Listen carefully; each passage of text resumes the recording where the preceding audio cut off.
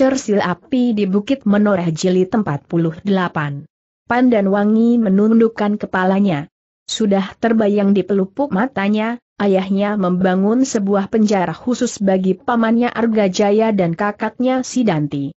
Bangunan yang kuat, dipagari oleh papan-papan yang tebal dan deriji-deriji kayu yang besar. Sepasukan pengawal pilihan yang akan mengawasinya siang dan malam, siap dengan senjata masing-masing. Sampai kapan ia berdesis di dalam hatinya? Ketika terkilas wajah ayahnya yang pucat, maka terbayanglah penderitaan batin orang tua itu, di masa mudanya, pada saat Arya Teja yang baru saja memasuki jenjang perkawin dengan Rara Wulan. Namun kemudian ternyata bahwa semua impiannya telah buyar, karena merasa telah dikhianati oleh perempuan itu. Dan perempuan itu kemudian melahirkan Sidanti kepala Pandan Wangi menjadi semakin tunduk. Wajar sekali apabila ayah sangat membenci Tambak Wedi dan mungkin juga Kakang Sidanti, katanya pula di dalam hatinya. Wangi, Pandan Wangi terkejut ketika ayahnya menyebut namanya, sudahlah. Jangan tercengkam oleh keadaan Sidanti itu. Kau akan kehilangan waktu, tenaga dan pikiran yang justru kini sangat diperlukan oleh tanah perdikan ini. Pandan Wangi menganggukkan kepalanya. Ya, ayah. Aku mengerti. Nah, karena itu, aku percayakan saja pamanmu dan kakakmu kepada mereka yang mendapat beban untuk itu. Lakukanlah tugas-tugasmu yang lain bersama pamanmu Samekta dan Kerti yang barangkali kini masih nganglang membersihkan seluruh tanah perdikan ini dari mereka yang berkeras hati dan berkeras kepala, bahkan mereka yang berputus asa. Kita harus menubersihkan diri dahulu, dan barulah kita mulai membangun tanah. Pandan Wangi menganggukkan kepalanya. Ya, ayah. Aku pun sudah menjadi semakin baik, Wangi. Kau tidak usah menunggui aku seperti kemarin. Mintalah dua orang pengawal yang dapat dipercaya, dan suruhlah ia berada di sini.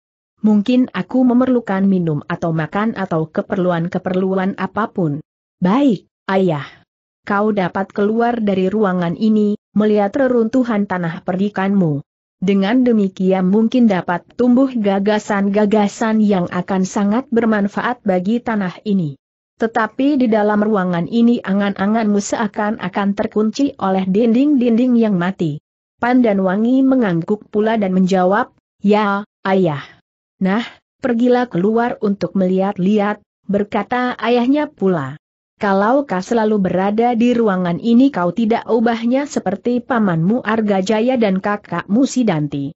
Mungkin kau akan segera jemu, meskipun tanpa kau sadari, sehingga kau pun dapat berangan-angan jauh ke dunia yang asing, kadang-kadang ada baiknya, tetapi kadang-kadang memang dapat menumbuhkan keinginan yang kurang pada tempatnya. Baik, ayah. Jangan lupa, suruhlah dua orang pengawal mengawani, baik, ayah. Sementara Samekta dan Kerti masih sibuk, dalam masalah yang penting, kau dapat berbicara dengan gembala tua itu. Sekali lagi Pandan Wangi menganggukkan kepalanya. Baik, ayah. Pandan Wangi pun kemudian melangkah keluar. Dua pengawal terpilih yang memang sudah disiapkannya, di Euruyama memasuki bilik ayahnya, untuk menjaga dan melayaninya. Kemanangger bertanya gembala tua yang melihatnya keluar ruang dalam. Aku akan sekedar melepaskan ketegangan, Kiai. Bagus. Bagus. Itu perlu sekali bagi Angger, yang selama ini seakan-akan selalu dicengkam oleh suasana yang tidak menentu. Sekali-sekali Angger Pandanwangi memang harus melihat cerahnya matahari, hijaunya dedaunan dan silir angin di bawah pepohonan. Pandan Wangi menarik nafas dalam-dalam. Sambil melanjutkan langkahnya ia menjawab, Ya, Kiai, supaya jantungku tidak meledak karenanya. Orang tua itu mengerutkan keningnya. Tetapi ia tidak menyahut lagi. Ia sadar, bahwa Pandan Wangi selalu diganggu oleh kekesalan hati selama ini. Karena itu maka ia pun kemudian kembali duduk di antara para pengawal yang mengawasi pintu bilik Sidanti di bagian dalam. Di ujung gandok, Gupala berbaring sambil mendadangkan lagu macapat. Lamat-lamat. Suaranya memang tidak begitu baik, tetapi ungkapannya berhasil menyentuh perasaan pendengarnya. Beberapa orang pengawal yang mendengar suara tembangnya itu pun tersenyum sambil menganggukkan kepalanya. Bahkan ada di antara mereka yang bergumam, ah, anak muda yang gemuk itu membuat aku mengantuk. Tetapi Gupala berlagu terus perlahan-lahan. Di sampingnya Gupita duduk sambil menggosok tangkai cambuknya yang melilit di lambung, dengan angkup keluih. Langkah Pandan Wangi tertegun ketika telinganya tersentuh suara tembang di kejauhan. Lamat-lamat saja. Tanpa sesadarnya langkahnya seakan-akan dituntun oleh getaran suara gupala yang menyusuri halaman. Satu-satu langkah Pandan Wangi membawanya berjalan di sepanjang emper gandok menyusup pergol samping masuk ke dalam longkangan tengah, kemudian lewat sebuah pintu ia sampai ke ujung belakang gandok. Pandan Wangi terhenti ketika tiba-tiba ia melihat Gupita yang duduk terpekur sambil menggosok-gosok tangkai cambuknya di samping Gupala yang berbaring sambil berdendang. Hi, tiba-tiba saja dendang Gupala terputus, marilah, sapa Gupala dengan serta-merta. Apakah kau mendapat tugas untuk melihat tawanan kami? Gupita pun kemudian mengangkat wajahnya. Dilihatnya Pandan Wangi berdiri kaku sambil menundukkan kepalanya. Sementara beberapa orang pengawal yang bertebaran di halaman kebun belakang sama sekali tidak menghiraukannya. Mereka duduk terkantuk-kantuk dan bahkan ada yang tidur mendekur bersandar pepohonan. Gapalap pun segera bangkit dan duduk di samping Gupita. Sejenak dipandanginya saja wajah gadis yang tunduk itu. Sesaat kemudian ia berpaling ke arah Gupita yang masih juga berdiam diri. Caption, demikianlah, maka ketika Pandan Wangi sedang berdiam termangu-mangu di tangga pendapa rumahnya Gupitalah yang berjalan mendekatinya, meskipun katanya berdebar-debar. Ia sudah mereka-reka alasan yang paling tepat untuk membawa Pandan Wangi meninggalkan padukuhan induk. Tiba-tiba suasana menjadi kaku, seperti tiang toang serambi gandok yang tegak tanpa bergerak sama sekali. Demikian juga ketiga anak-anak muda itu. Gupala, Gupita, dan Pandan Wangi yang masih berdiri. Namun kekakuan itu kemudian dipecahkan oleh suara teriakan Gupala. Sambil berdiri ia berkata, Hi, kenapa tiba-tiba saja kita seperti dicekik hantu? Kemudian kepada Pandan Wangi ia berkata, Marilah, barangkali kau membawa perintah atau berita atau kau akan bersama-sama berdendang dengan kami di sini? Pandan Wangi tidak menyaut. Tetapi ketika tampak olehnya selah anak yang gemuk itu, maka ia pun tersenyum. Ha, kau sudah tersenyum, berkata Gupala. Tetapi kata-katanya terputus karena Gupita menggamitnya. Tetapi tanpa ragu-ragu Gupala malahan bertanya, kenapa? Apakah aku salah? Maksudku, aku ingin mempersilahkannya. Hus, desis Gupita, kenapa kau? Aku tidak melarangmu, tetapi kau menggamit aku. Gupala mengerutkan keningnya. Dan sekali lagi ia melihat Pandan Wangi tersenyum. Kalau begitu, berkata Gupala selanjutnya, marilah. Duduklah di sini. Pandan Wangi masih berdiri di tempatnya. Kita bercakap-cakap, berkata Gupala. Tetapi, apakah kau sedang bertugas? Pandan Wangi menggelengkan kepalanya. Tidak. Aku tidak sedang bertugas apa pun. Bagus. Duduklah. Kita berbicara tentang banyak hal. Tentang yang tidak menjemukan seperti kerjaku selama aku di sini. Menunggui sangkar yang meskipun berisi, tetapi tidak pernah berkicau. Hus, sekali lagi Gupita berdesis. Dan tiba-tiba saja wajah Pandan Wangi berkerut. Perlahan-lahan Gupita berbisik, bukankah orang itu pamannya? Oh, Gupala menjadi gelisah, tidak. Maksudku, bukan orang ini yang berkicau. Aku memang senang sekali burung. Dan aku ingin memelihara seekor burung di dalam sangkar, supaya berkicau setiap saat. Mau tidak mau Pandan Wangi terpaksa tersenyum pula. Hampir tanpa disadarinya ia melangkah maju mendekati kedua anak-anak muda itu. Sekilas dilihat wajah keduanya. Gupita yang tenang datar dan Gupala yang riang dan cerah. Keduanya pasti bukan saudara seperti yang mereka katakan, berkata Pak Adan Wangi di dalam hatinya. Keduanya pasti bukan anak gembala yang luar biasa itu. Aku kira keduanya adalah murid-muridnya. Saudara seperguruan. Tetapi langkah Pandan Wangi tertegun. Ia berdiri beberapa langkah dari kedua anak-anak muda itu ketika tiba-tiba Gupala bertanya, ataukah kau akan melihat-lihat seluruh halaman rumah ini? Marilah aku tunjukkan, barangkali kau ingin melihat apa yang ada di seputar rumah yang sudah tidak terpelihara lagi ini. Tetapi sekali lagi kata-kata Gupala terputus ketika Gupita berkata, rumah ini rumah Ki Argapati, ayah Pandanwangi. Kalau kau ingin melihat-lihat, Pandanwangilah yang seharusnya yang mengantar kau. Oh, Gupala menjadi semakin gelisah, lalu, apa yang akan aku lakukan? Sekali lagi Pandanwangi harus tersenyum melihat tingkah laku Gupala. Namun dengan demikian ia menjadi semakin mengenal jiwanya jiwanya yang selama ini tertekan oleh berbagai masalah, kesungguhan yang berlebih-lebihan. Lingkungan keluarga yang mengecewakannya setelah ia mengetahui keadaannya yang sebenarnya, perang dan ketegangan di bilik ayahnya yang sakit, maka sikap Gupala benar-benar merupakan kelainan yang segar. Itulah sebabnya, perasaan Pandan Wangi seolah-olah terbuka apalagi setelah diketahuinya bahwa api di Bukit Menorah yang lengkap ternyata ada di padepokan admcadangan.wordpress.com. Angin yang silir telah menyusup ke pusat jantungnya. Kedua anak-anak muda itu memberikan nafas yang berbeda dari kehidupannya sehari-hari. Atau, kalau begitu, Gupala tergagap, duduklah di sini. Di dalam bilik ini tersimpan Ki Arga Jaya. Selama ini kami mendapat tugas untuk menungguinya siang dan malam. Berganti-ganti. Kadang-kadang harus berdua. Dan tanah perdikan ini serasa terlampau sepi bagi kami. Kenapa terlampau sepi tiba-tiba Pandan Wangi bertanya. Di sini tidak ada penari, penabuh gamelan yang cakap dan tidak ada pula tayub yang meriah. Hus, desis Kupita. Pandan Wangi kini tertawa. Katanya, tentu ada.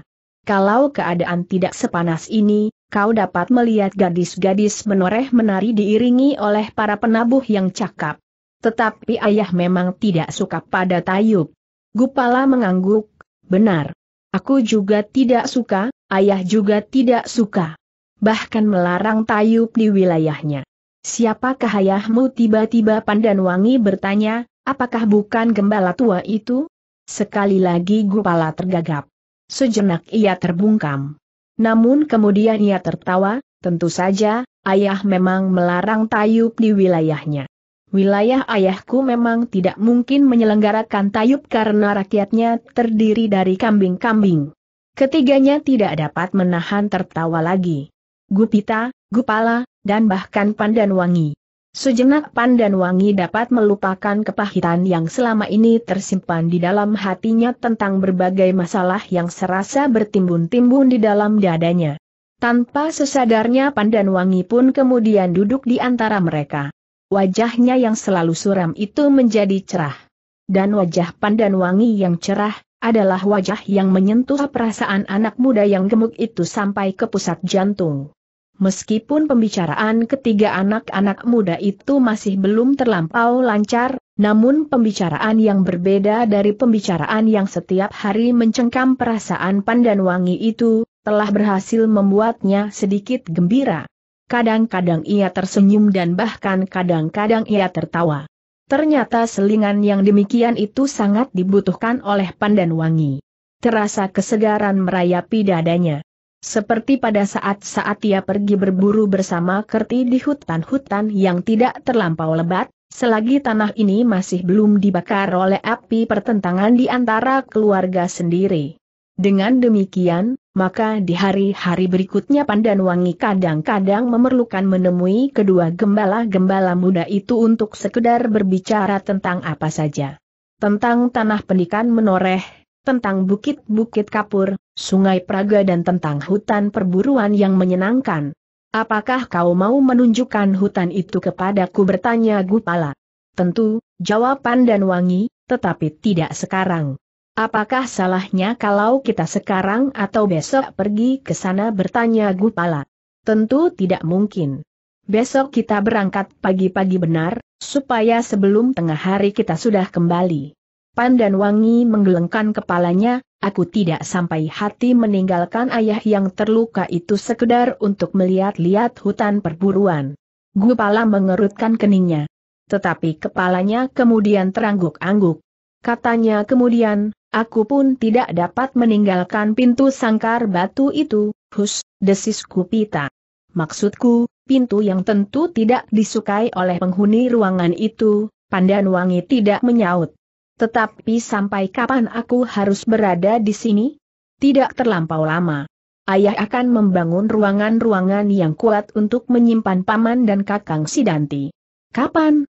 Ayah ingin berbicara dahulu dengan paman dan kakang Sidanti. Kalau mereka bersedia membantu ayah, maka ayah tidak akan merasa perlu membangun sangkar-sangkar itu. Kalau tidak, Pandan Wangi mengerutkan keningnya. Namun Gupala segera berkata, baiklah. Kita berbicara tentang hal lain lagi. Sudah tentu yang tidak menyangkut masalah-masalah yang tidak kau sukai. Pandan Wangi menganggukkan kepalanya. Dan Gupala pun kemudian berusaha untuk berbicara tentang masalah-masalah yang sama sekali tidak penting, namun yang dengan demikian dapat mengurangi ketegangan hati Pandan Wangi. Namun pertemuan yang sering terjadi itu, telah memahat hati Gupala menjadi semakin dalam. Kadang-kadang anak yang pada umumnya selalu bergembira itu menjadi perenung. Kadang-kadang ia duduk sambil memandang jauh menerawang keketiadaan. Gupita segera dapat menangkap perasaan adik seperguruannya. Kali ini agaknya Gupala tidak bergurau. Ia benar-benar telah terpikat oleh gadis tanah perdikan menoreh. Kadang-kadang hati Gupita sendiri menjadi berdebar-debar tanpa sebab.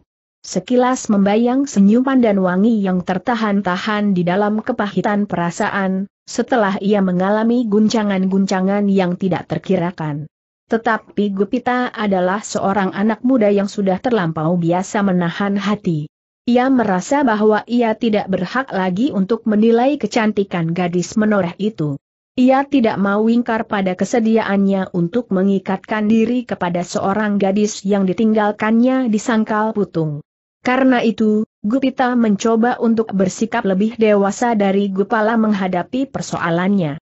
Sehingga ia berusaha untuk menjauhkan segala kesan tentang perasaannya sendiri atas gadis itu. Itulah sebabnya, kini ia menyimpan serulingnya. Ia hampir tidak pernah lagi meniup seruling itu. Setiap nada yang dilontarkan oleh serulingnya akan dapat menimbulkan getaran-getaran hati yang paling tersembunyi sekalipun. Apalagi ia sadar, bahwa Pan dan Wangi pun tertarik pula kepada nada-nada serulingnya itu. Kakang, pada suatu kali Gupala berkata dengan wajah yang bersungguh-sungguh kepadanya, apakah Kakang Gupita mau menolong aku? Gupita menjadi heran. Karena itu maka ia bertanya, apakah yang harus aku tolong Gupala menelan ludahnya. Kemudian ia menggeleng-gelengkan kepalanya seakan akan hendak mengusir kenangan yang tidak dikehendakinya. Tetapi aku tidak tahu, apakah guru setuju atau tidak. Apa? Kakang, suara Gupala menjadi semakin lambat. Hi, jangan seperti orang yang kelaparan. Aku tidak mendengar lagi suaramu. Gupala menarik nafas dalam-dalam. Ia menjadi sangat gelisah, sehingga keringat dinginnya mengalir membasahi leher dan punggungnya. Katakan Gupala. Kalau aku dapat membantumu, aku akan membantu, ya, ya. Aku percaya. Tetapi aku tidak tahu, apa yang harus aku lakukan untuk membantumu. Apa kesulitanmu dan apakah keinginanmu? Tetapi apakah guru tidak akan marah? Kalau masalahnya masalah yang wajar, guru tentu tidak akan marah. Tetapi apa itu, katakanlah supaya aku dapat memberitahukan pertimbangan. Itulah. Kenapa itulah? Kau belum mengatakan apa-apa. Gupala menjadi semakin gugup. Kini keringatnya sudah menitik dari keningnya. Beberapa kali bibirnya bergerak-gerak seakan-akan hendak mengucapkan sesuatu. Tetapi suaranya ditelannya kembali sebelum terucapkan. Gupita melihat kegelisahan yang mencengkam adik seperguruannya itu. Meskipun ia belum pasti, tetapi ia dapat meraba apakah yang akan dikatakan oleh Gupala. Anak itu pada dasarnya tidak ragu-ragu untuk berbuat sesuatu. Ia berkata apa yang ingin dikatakannya, dan kadang-kadang ia melakukan apa saja yang menarik baginya tanpa pertimbangan. Tetapi tiba-tiba ia menjadi gelisah, bimbang dan seakan-akan tidak menentu lagi. Gupala, berkata Gupita Sareh, tenangkan hatimu. Aku kira masalahmu adalah masalah yang penting, sehingga kau mendapat kesukaran untuk mengatakannya. Tetapi masalah yang penting itu pasti langsung menyangkut pribadimu sendiri. Gupala mengangguk-anggukan kepalanya. Perlahan-lahan ia berdesis, ya, memang menyangkut pribadiku langsung. Aku sudah menduga. Tetapi katakanlah. Jangan ragu-ragu. Gupala mengangguk-anggukan kepalanya. Katanya tersendat-sendat, Kakang, di sini tidak ada ayah tidak ada ibu. Yang ada hanyalah Kakang dan guru. Tetapi untuk mengatakannya kepada guru, aku masih ragu-ragu. Barangkali Kakang dapat menolongku. Apakah aku harus mengatakannya kepada guru? Tidak, bukan itu, potong Gupala cepat-cepat. Maksudku, aku ingin meyakinkan dahulu, apakah aku tidak sedang bermimpi. Apabila semuanya sudah pasti, barulah aku minta Kakang menyampaikannya kepada guru. Lalu apakah sekarang yang akan aku lakukan? Gupala menarik nafas dalam-dalam. Katanya, Aku akan minta tolong kepadamu Kakang. Aku ingin meyakinkan, apakah aku benar-benar tidak sedang bermimpi. Ya, aku yakin, kau sekarang memang tidak sedang bermimpi, bukan, bukan itu. Aku kira kau sudah tahu maksudku. Mungkin. Aku tahu masalahmu. Tetapi aku tidak tahu, care yang bagaimana yang harus aku lakukan untuk meyakinkan kau. Gupala menelan ludahnya. Dengan suara parau ia berkata lirih, tolong kakang, tanyakan kepada Pandanwangi, apakah ia dapat mengerti perasaanku. Gupita mengerutkan keningnya. Terasa sesuatu bergetar di dadanya. Sesuatu yang sama sekali tidak dikehendaki. Namun dengan sekuat tenaganya perasaan itu ditekannya dalam-dalam.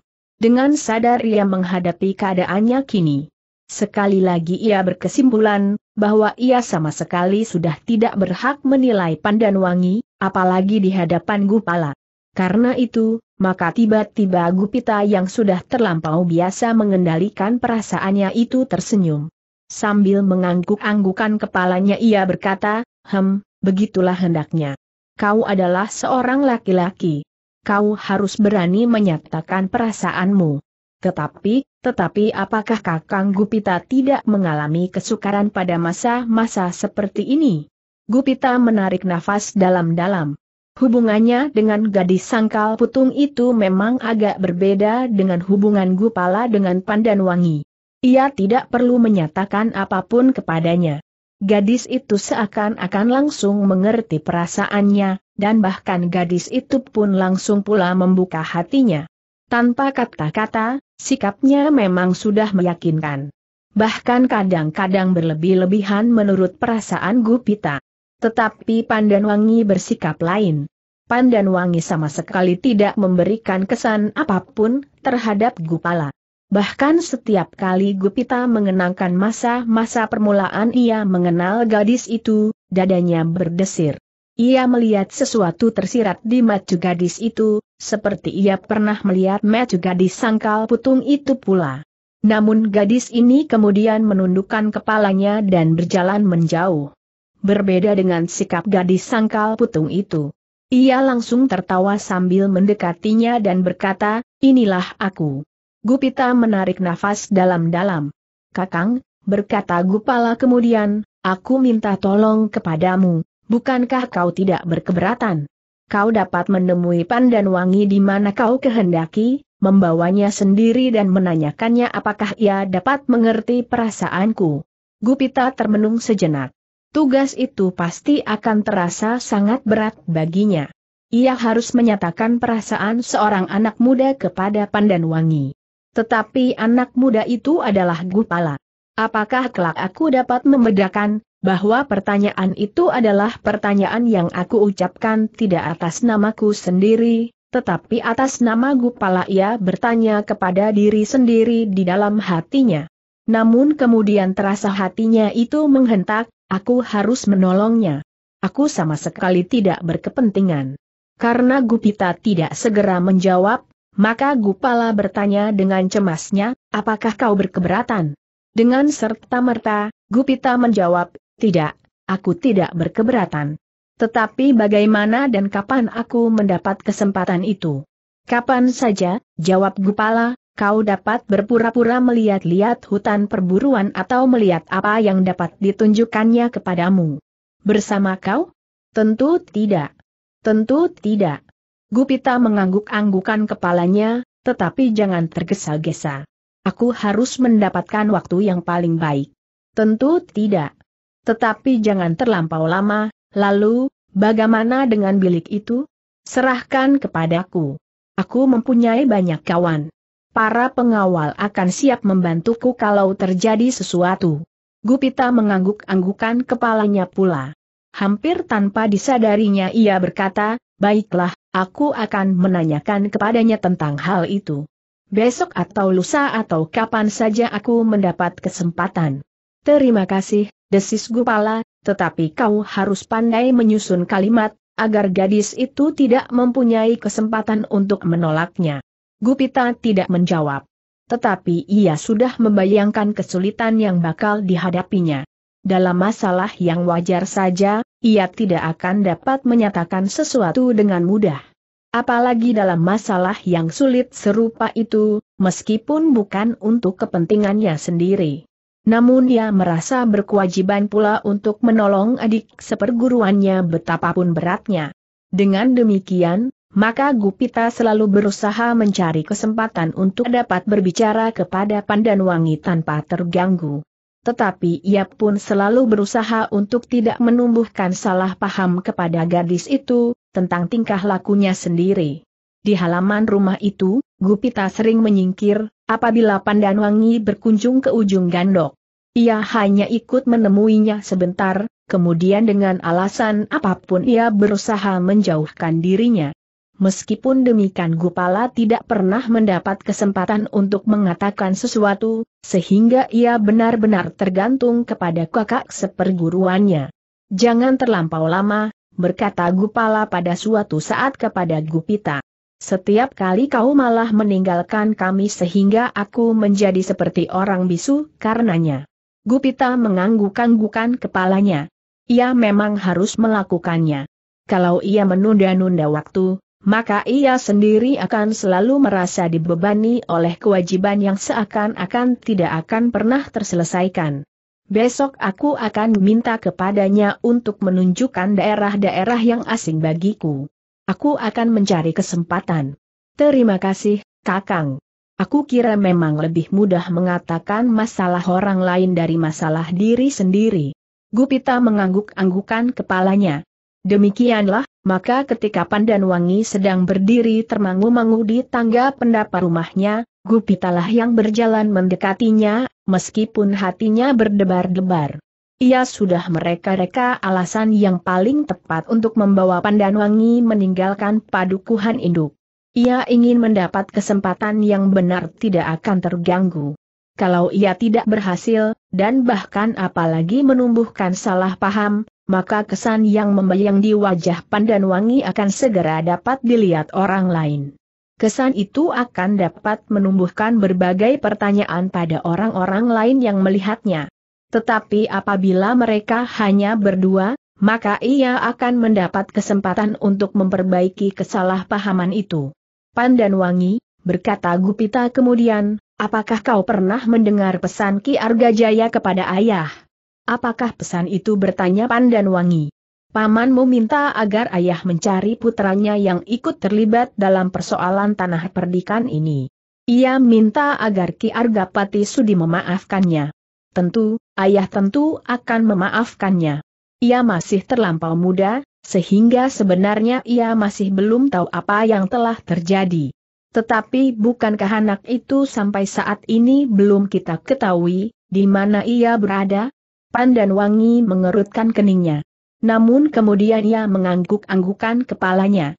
Katanya, aku mengharap ia berada di rumahnya. Apakah kau yakin?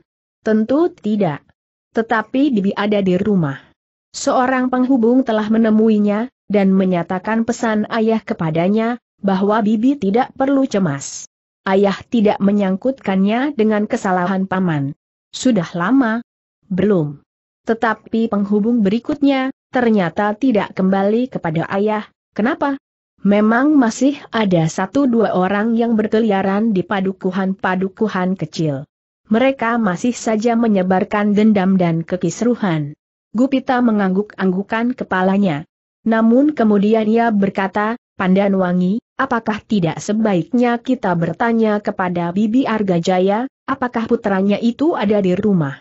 Ayah sudah bertanya lewat penghubung yang pertama. Tetapi Bibi menjawab, bahwa anak itu belum juga pulang sejak berkobar peperangan. Tetapi sekarang keadaan sudah agak tenang. Sebenarnya bahwa Ki Argapati pun minta tolong kepada ayah untuk mencarinya, dan ayah sendiri masih belum sempat meninggalkan rumah ini. Kaulah yang harus mencarinya? Tidak harus. Tetapi aku ingin menolong ayah dan pamanmu. Apakah kau berkeberatan? Kenapa berkeberatan? Maksudku, apabila kita bersama-sama pergi ke rumah pamanmu. Pandan Wangi mengerutkan keningnya. Sekilas ditatapnya wajah anak muda itu. Tersirat suatu kenangan, pada saat ia hampir saja terperosok ke dalam bencana yang tidak terbayangkan, ketika ia berhasil melepaskan diri dari tangan beberapa laki-laki yang liar dan buas karena pertolongan kakak dan pamannya. Saat itulah ia melihat gembala ini. Tiba-tiba Pandan Wangi menarik nafas dalam-dalam. Tanpa sesadarnya ia berpaling ke arah ujung gandok tetapi ia tidak dapat melihatnya, karena pagar dan sudut pendapa yang menjorok di sebelah regol samping. Pada saat yang mendebarkan hati itu, Pandan Wangi belum pernah melihat gembala yang seorang lagi. Yang gemuk tetapi pandai berkelakar, meskipun agak kurang hati-hati. Bagaimana desak Gupita, mumpung masih pagi? Apakah ayah akan mengizinkan desis Pandan Wangi? Kita hanya pergi sebentar. Tetapi kalau kita berhasil membawanya menghadap, ayahmu dan pamanmu akan sangat senang sekali. Pandan Wangi mengangguk-anggukan kepalanya. Memang hanya sebentar apabila ia pergi berkuda. Tetapi apakah sudah tidak akan ada gangguan apa pun di perjalanan? Sejenak gadis itu berpikir. Sekali-sekali ia berpaling, seakan-akan ia ingin meyakinkan, bahwa ayahnya tidak akan berkeberatan apabila ia pergi sejenak ke rumah pamannya, untuk mencari adik sepupunya. Dalam keragu-raguan itu, terlintas bayangan-bayangan yang menahannya. Tetapi hasrat di dasar hatinya semakin lama menjadi semakin kuat mendorongnya pergi. Sudah lama aku tidak melihat telatah menoreh, katanya di dalam hati. Seandainya ada gangguan di perjalanan, Aku kira aku bersama Gupita akan mempunyai waktu dan kesempatan untuk melepaskan diri. Peronda-peronda pasti akan hilir mudik di segala jalan-jalan di tanah perdikan menoreh. Karena itu, maka tiba-tiba Pandanwangi menganggukkan kepalanya. Ada dorongan yang lain, kecuali keinginannya untuk melihat-lihat wilayahnya dan sekedar untuk menemukan adik sepupunya. Baiklah, katanya kemudian, aku akan berkemas. Aku akan memberitahukan kepada ayah. Apalagi Ki Samekta dan Ki Kerti tidak sedang berada di halaman ini. Mereka tidak meronda. Mereka ada di Banjar, jawaban dan wangi. Karena itu, aku akan memberitahukannya kepada ayah, supaya ia mengerti, bahwa halaman ini sedang kosong. Terserahlah. Tetapi aku tidak akan minta izin kepada ayah. Aku kira ayah tidak akan mengizinkan. Aku hanya akan mengatakan kepada ayah, bahwa aku akan keluar sebentar, supaya tidak mencari aku. Baiklah, sahat Gupita. Maka keduanya pun segera mempersiapkan diri. Menyiapkan kuda masing-masing, dan bukan hanya sekedar mempersiapkan yang tampak oleh mata, tetapi terlebih-lebih lagi, Gupita sedang menyiapkan susunan kalimat-kalimat yang akan dikatakannya kepada Pandanwangi atas nama Gupala. Ketika Gupita sudah siap, dan Pandan Wangi sudah menunggunya di halaman. Gupala berbisik di telinga kakak seperguruannya, kau harus berhasil. Gupita menganggukkan kepalanya. Namun ia masih berpesan juga, hati-hatilah dengan Ki Argajaya. Percayakan ia kepadaku. Gupita pun kemudian meninggalkan halaman rumah kepala tanah perdikan yang sudah dihuni kembali itu, menyusur jalan padukuhan, menuju ke rumah Ki Argajaya. Sejenak kemudian mereka telah melampaui gardu peronda yang terakhir. Kepada para penjaga Pandan Wangi berpesan, bahwa ia akan melihat-lihat padukuhan-padukuhan kecil di sekitar padukuhan induk itu. Apakah masih ada hubungan yang ajaib antara para pengawal di sini dan mereka yang ditempatkan di padukuhan-padukuhan lain setiap saat bertanya Gupita? Ya, setiap kali penghubung-penghubung dan peronda-peronda hilir mudik, jawaban dan wangi. Gupita mengangguk-anggukan kepalanya. Tetapi sebenarnya ia menjadi cemas. Kalau setiap kali ia bertemu dengan para peronda dan penghubung di sepanjang jalan, Apakah ia akan mendapat kesempatan untuk mengatakan maksudnya kepada Pandanwangi? Meskipun demikian Gupita masih tetap mengharap, bahwa ia akan dapat melakukan tugasnya dengan baik. Demikianlah maka mereka berdua berpacu dengan kencangnya menuju ke rumah Paman Pandanwangi. Mereka menyusur jalan yang berbatu-batu, namun kadang-kadang berdebu tebal. Sawah-sawah di sebelah menyebelah jalan kelihatan sangat kurang terpelihara. Parit-parit menjadi kering, dan rerumputan tumbuh dengan liarnya. Keadaan ini harus segera diakhiri, desis pandan wangi, parit-parit harus segera mengalir dan sawah-sawah harus ditanami. Kalau keadaan ini berlarut-larut, maka bahaya paceklik yang dahsyat tidak akan dapat dicegah lagi. Gupita mengangguk-anggukan kepalanya. Ia mengerti kecemasan yang merayap gadis itu. Sebagai anak satu-satunya kepala tanah perdikan menoreh yang masih dapat diharap, maka Pandan Wangi sudah sewajarnya untuk langsung berbicara tentang kemungkinan-kemungkinan yang dapat terjadi atas tanahnya. Tetapi hal itu ternyata kurang menarik perhatian Gupita. Angan-angannya selalu dipenuhi oleh kalimat-kalimat yang akan disampaikannya kepada Pandan Wangi, atas nama adik seperguruannya. Menoreh memang memerlukan setiap tenaga yang ada, berkata Pandan Wangi. Dan Gupita pun hanya mengangguk-anggukan kepalanya saja. Kenapa kau diam saja bertanya Pandan Wangi? Bagainya Gupita bukannya seorang pendiam. Meskipun tidak sebanyak Gupala namun anak muda ini dapat juga berbicara tentang berbagai macam masalah. Tentang sawah, tanaman, ternak dan bahkan sampai ke jalan-jalan yang silang menyelang di atas tanah perdikan ini. Aku sedang berpikir tentang adik sepupumu, jawab Gupita. Kita akan segera melihat, apakah ia ada di rumahnya. Gupita mengangguk-anggukan kepalanya, ia masih terlampau muda, ya, jawaban dan wangi. Ia masih agak lebih muda dari Gupala. Ya, aku kira jaraknya ada beberapa tahun. Ya, Apalagi Gupala sekarang. Ia sudah menjadi semakin dewasa, kenapa sekarang bertanya Pandan Wangi? Ada perubahan yang terjadi atas dirinya selama ia berada di atas tanah perdikan ini. Apa? Gupita menarik nafas dalam-dalam. Ia sudah mendapat jalan untuk mengatakannya. Tetapi tiba-tiba saja terasa lehernya seakan-akan tersumbat. Perubahan apa yang sudah terjadi pada adikmu itu Pandan Wangi mendesak. Tetapi Gupita menggelengkan kepalanya, aku hanya menduga-duga saja. Pandan Wangi mengerutkan keningnya. Ia merasakan bahwa tidak seluruh perasaan Gupita dituangkannya. Sesuatu pasti masih tersimpan di dalam hatinya. Namun Pandan Wangi tidak bertanya lagi.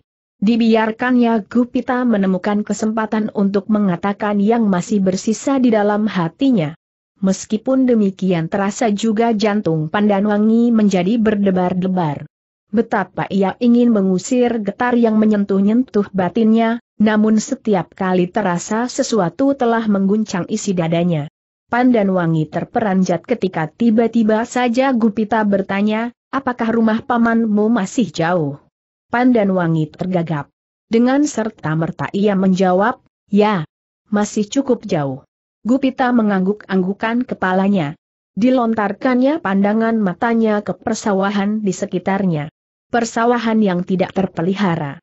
Tetapi setiap kali ia ingin menyampaikan pesan Gupala terasa lehernya seakan-akan tersumbat. Bahkan kalimat-kalimat yang sudah disusunnya rapi, menjadi pecah berserakan seperti awan dihembus. Angin yang kencang. Kalau aku memang tidak berkepentingan apa pun, kenapa aku menjadi begitu bodoh dan pengecut? Ia mencoba memaksa dirinya untuk segera sampai pada persoalannya. Namun mulutnya serasa benar-benar terkunci, sehingga yang dapat dilakukan hanyalah sekedar menelan ludahnya. Kita masih akan melampaui dua bulak panjang, berkata Pandan Wangi. Oh, Gupita mengangguk-anggukan kepalanya. Tetapi dengan kuda, jarak itu tidak akan terlampau lama dilampaui. Dalam pada itu, ia berkata kepada dirinya sendiri, ternyata aku masih belum siap benar-benar. Biarlah, nanti setelah kami kembali dari rumah Ki Argajaya. Kuda-kuda itu pun kemudian berpacu semakin cepat padukuhan yang berada di depan mereka sudah menjadi semakin dekat, sehingga sejenak kemudian mereka telah sampai ke mulut lorong yang memasuki padukuhan itu. Seorang peronda yang berada di gardu di regol padukuhan itu pun berdiri, sedang kawannya yang lain yang bertugas di luar regol sudah lebih dahulu merundukkan tombaknya. Tetapi ketika mereka melihat bahwa yang berkuda itu adalah Pandan Wangi, maka mereka pun kemudian menepi. Meskipun demikian petugas yang berdiri di luar gol itu masih bertanya, ke manakah kau akan pergi? Aku hanya sekedar melihat-lihat, jawaban dan wangi. Hati-hatilah, berkata penjaga itu, keadaan masih belum cukup baik. Satu dua orang dari mereka, masih saja melakukan pengacauan dalam keputusasaan. Sebelum Pandan Wangi menjawab, orang yang lain telah berkata, sebaiknya kalian singgah di sini saja. Kalian akan mendapatkan apa saja yang kalian inginkan. Degan kambil ijo, buah-buahan yang lain, sawo, duku dan salak. Di sini kalian tinggal mengambil langsung dari pohonnya. Pandan Wangi tersenyum. Jawabnya, terima kasih. Tetapi aku akan meneruskan perjalanan. Memang berbahaya. Kadang-kadang orang-orang yang tidak terduga-duga muncul dari balik gerumbul-gerumbul. Itu akan membahayakan. Pandan Wangi tidak segera menjawab. Dipandanginya wajah Gupita yang menegang. Namun kemudian ia berkata, kami akan berhati-hati. Dan kami memang tidak akan pergi terlampau jauh. Kau tahu, berkata penjaga itu, padukuhan di seberang bulak itu adalah padukuhan Ki Argajaya banyak orang di sekitar rumahnya yang masih tetap setia kepadanya. Dalam keadaan sehari-hari mereka tampaknya sudah benar-benar menyerah, dan tidak akan berbuat apa pun. Namun sudah tiga orang di antara kita yang hilang. Benar-benar hilang tidak berbekas. Bahkan seorang penghubung Ki Argapati pun pernah hilang pula di sekitar padukuhan itu, orang itu berhenti sejenak, lalu, Kisah Meta pernah datang ke padukuhan itu dengan sepasukan pengawal. Tetapi kita tidak menemukan apa-apa selain rumah-rumah yang kotor dan tua, petani-petani miskin yang ketakutan dan anak-anak muda yang kehilangan pegangan. Pandan Wangi tidak segera menjawab. Nah, berkata pengawal itu, kalian pasti tahu, apakah artinya semua itu? Hampir bersamaan Gupita dan Pandan Wangi menganggukkan kepalanya. Terdengar suara pandan wangi lirih, mereka telah meluluhkan diri dengan rakyat yang barangkali memang tidak bersalah.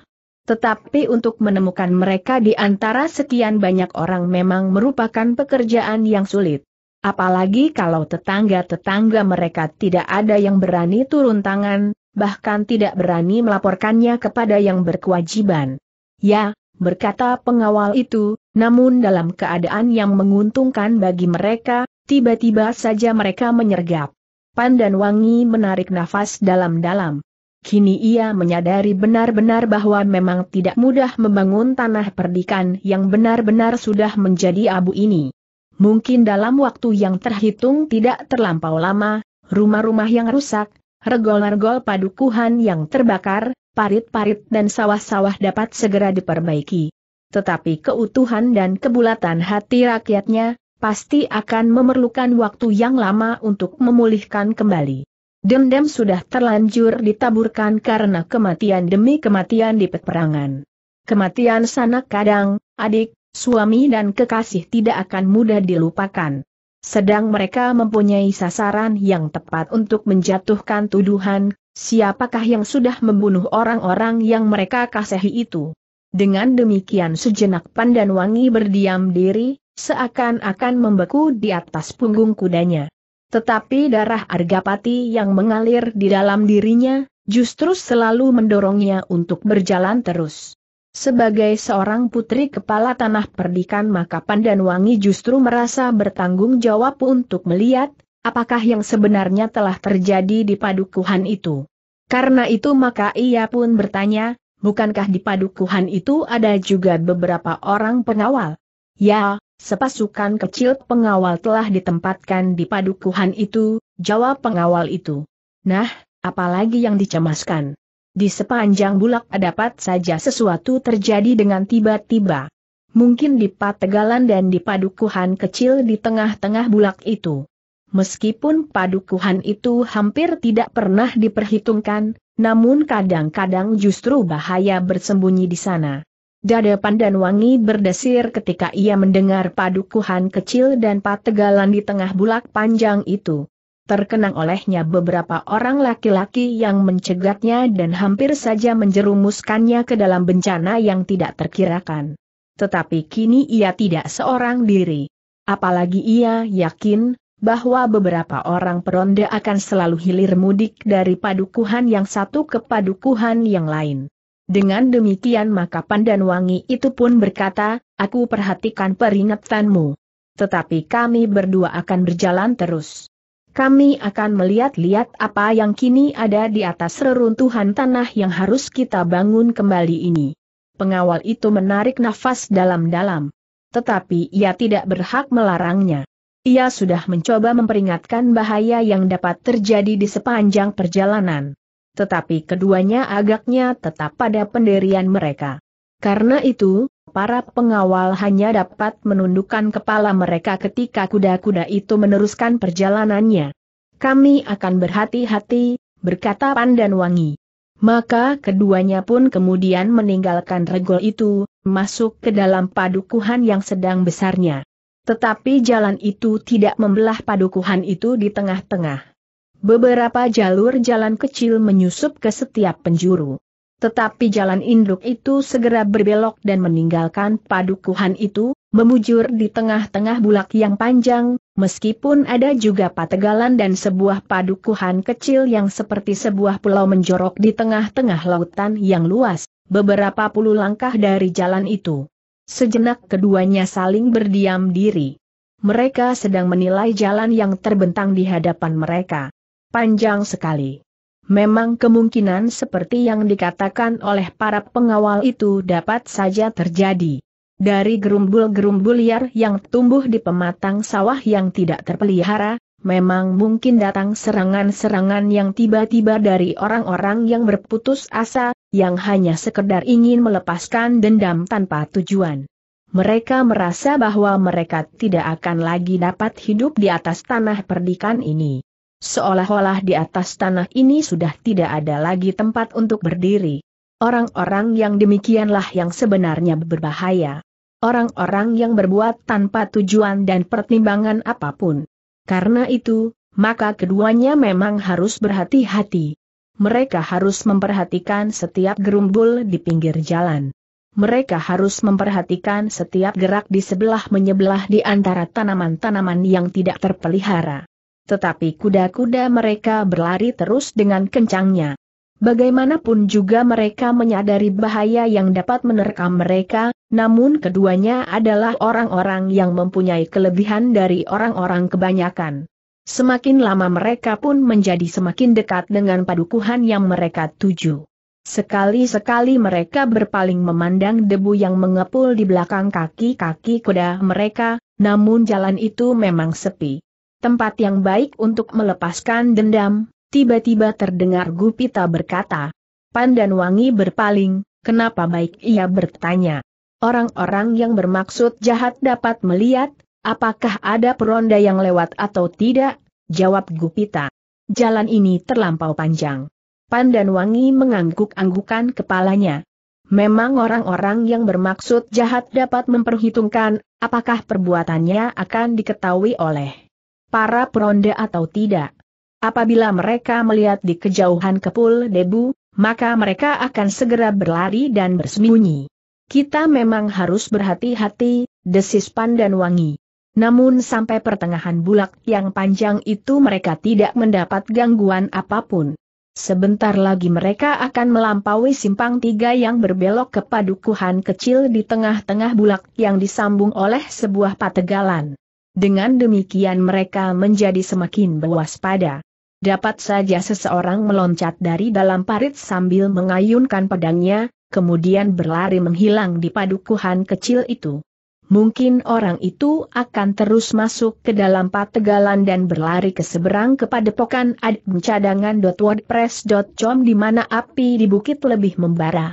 Tetapi mungkin juga, mereka bersembunyi di sudut-sudut yang tidak tersentuh tangan di dalam padukuhan itu, sedang orang-orang di sekitarnya tidak berani menunjukkannya karena ancaman senjata.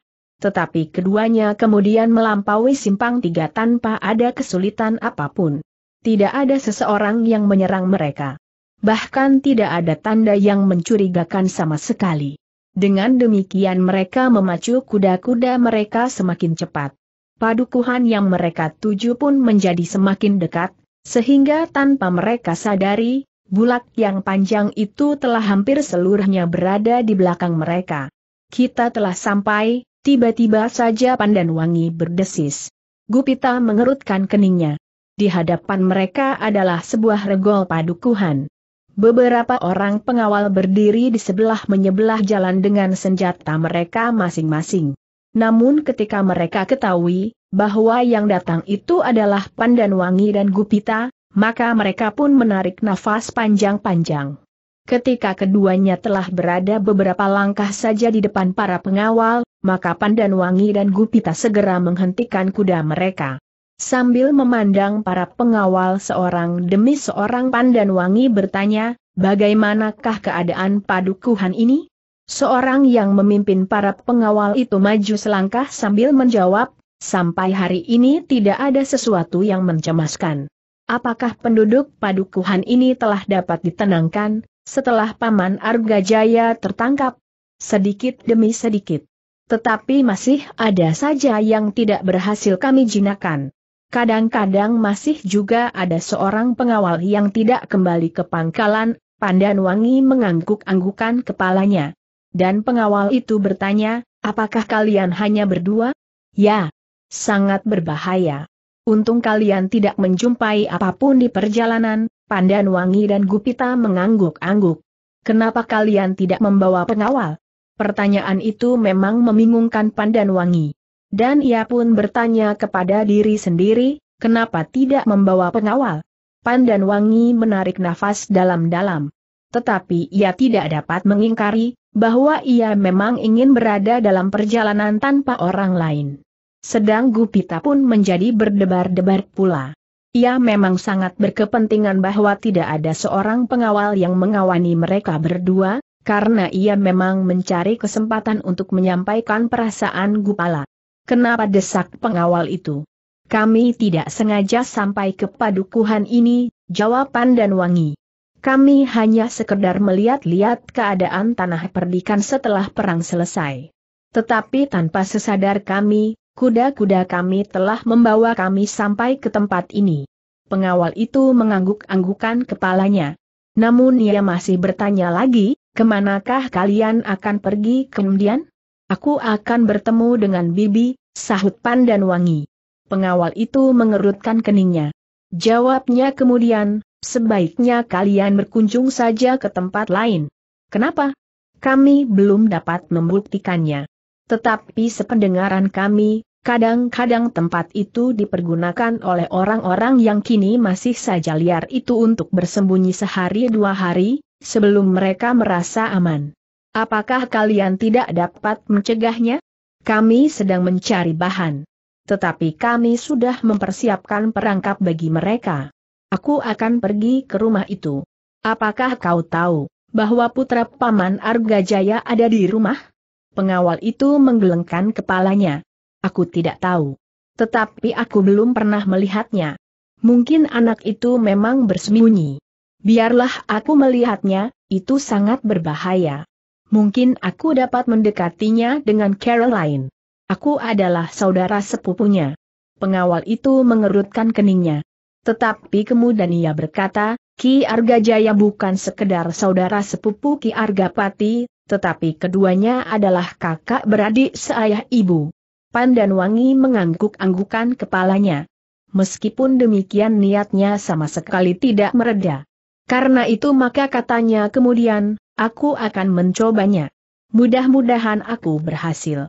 Setidak-tidaknya aku dapat memberitahukan kepada Bibi, agar ia tidak terus-menerus dicengkam oleh kecemasan dan ketakutan, justru karena pengikut paman yang putus asa itu selalu mengganggunya. Pengawal itu menarik nafas panjang-panjang. Katanya kemudian, baiklah. Aku sudah mencoba mencegah. Tetapi kalau kalian tetap ingin memasuki rumah itu, aku akan menyediakan empat atau lima orang pengawal.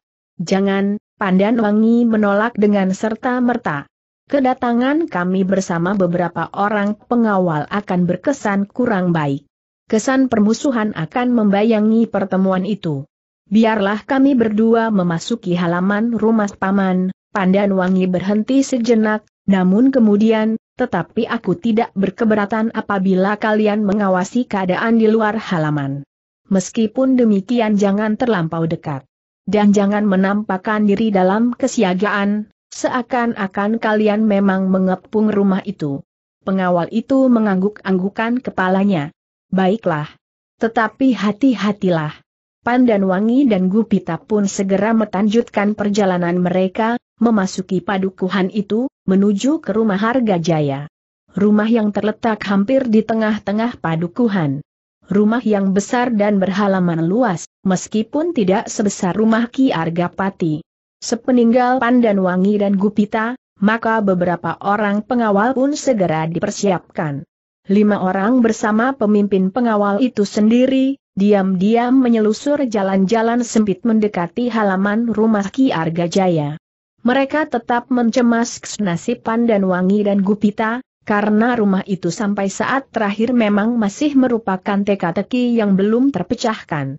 Meskipun sekali dua kali para pengawal pernah memasuki rumah itu dengan tiba-tiba, namun mereka sama sekali tidak menemukan apa pun, selain caci maki dan umpatan-umpatan dari seluruh penghuninya.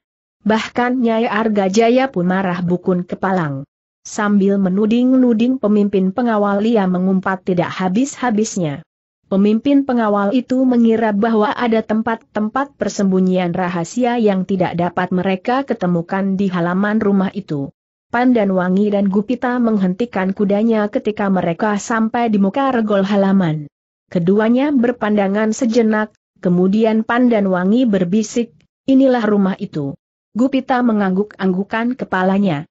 Kini ia tidak dapat menghindari lagi. Sebenarnya ia sama sekali tidak ingin memasuki halaman rumah itu.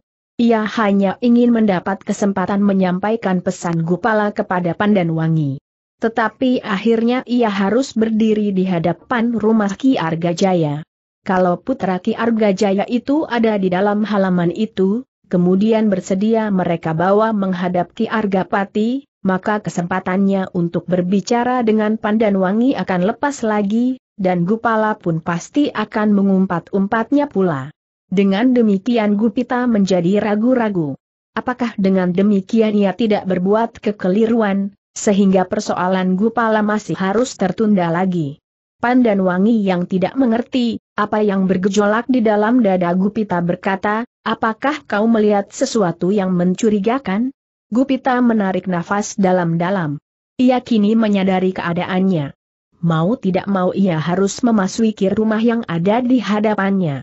Tetapi ketika ia memandangi halaman yang berada di belakang regol yang terbuka itu, memang terasa, seakan-akan halaman rumah itu menyimpan suatu rahasia yang tidak mudah dipecahkan.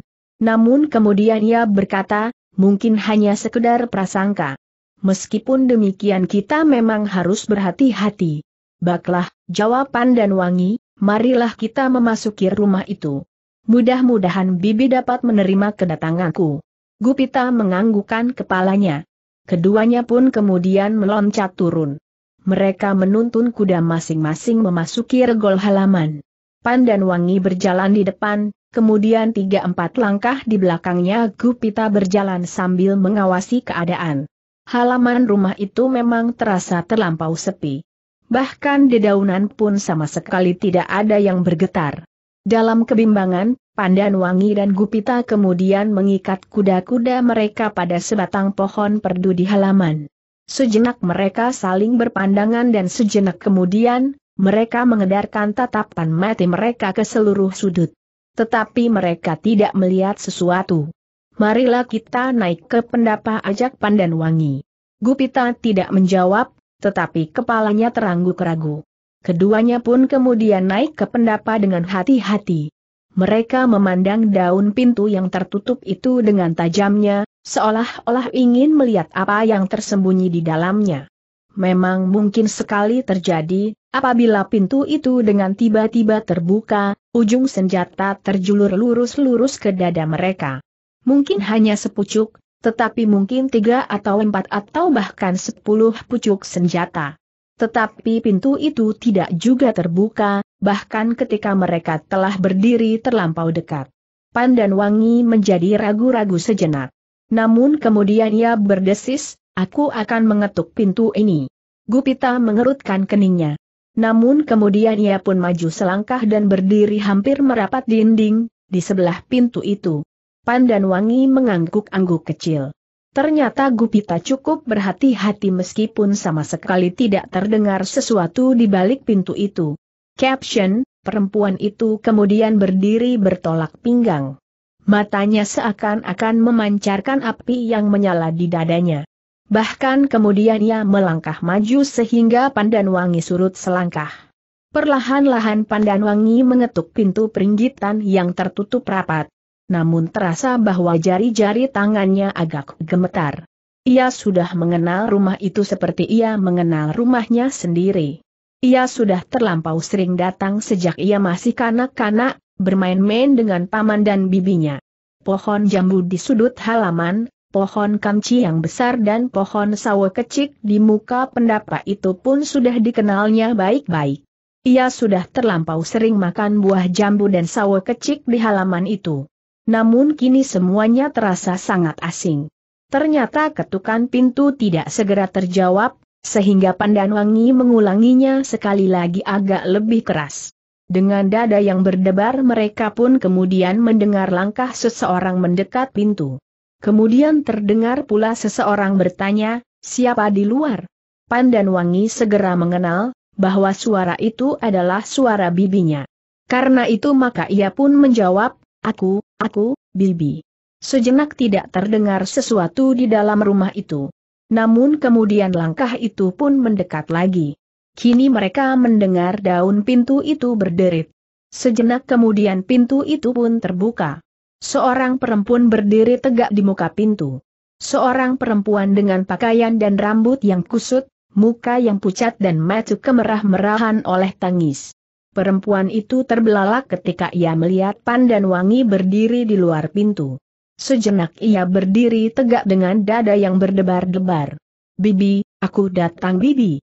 Tetapi alangkah terperanjat Pandan Wangi ketika tiba-tiba ia melihat perempuan itu menudingnya sambil berkata lantang hampir berteriak, Hi, betina tidak tahu diri. Kenapa kau kemari, Hi? Apakah kau masih belum puas? Ayahmu sudah mencelakakan suamiku, adiknya seadiri, adik kandungnya.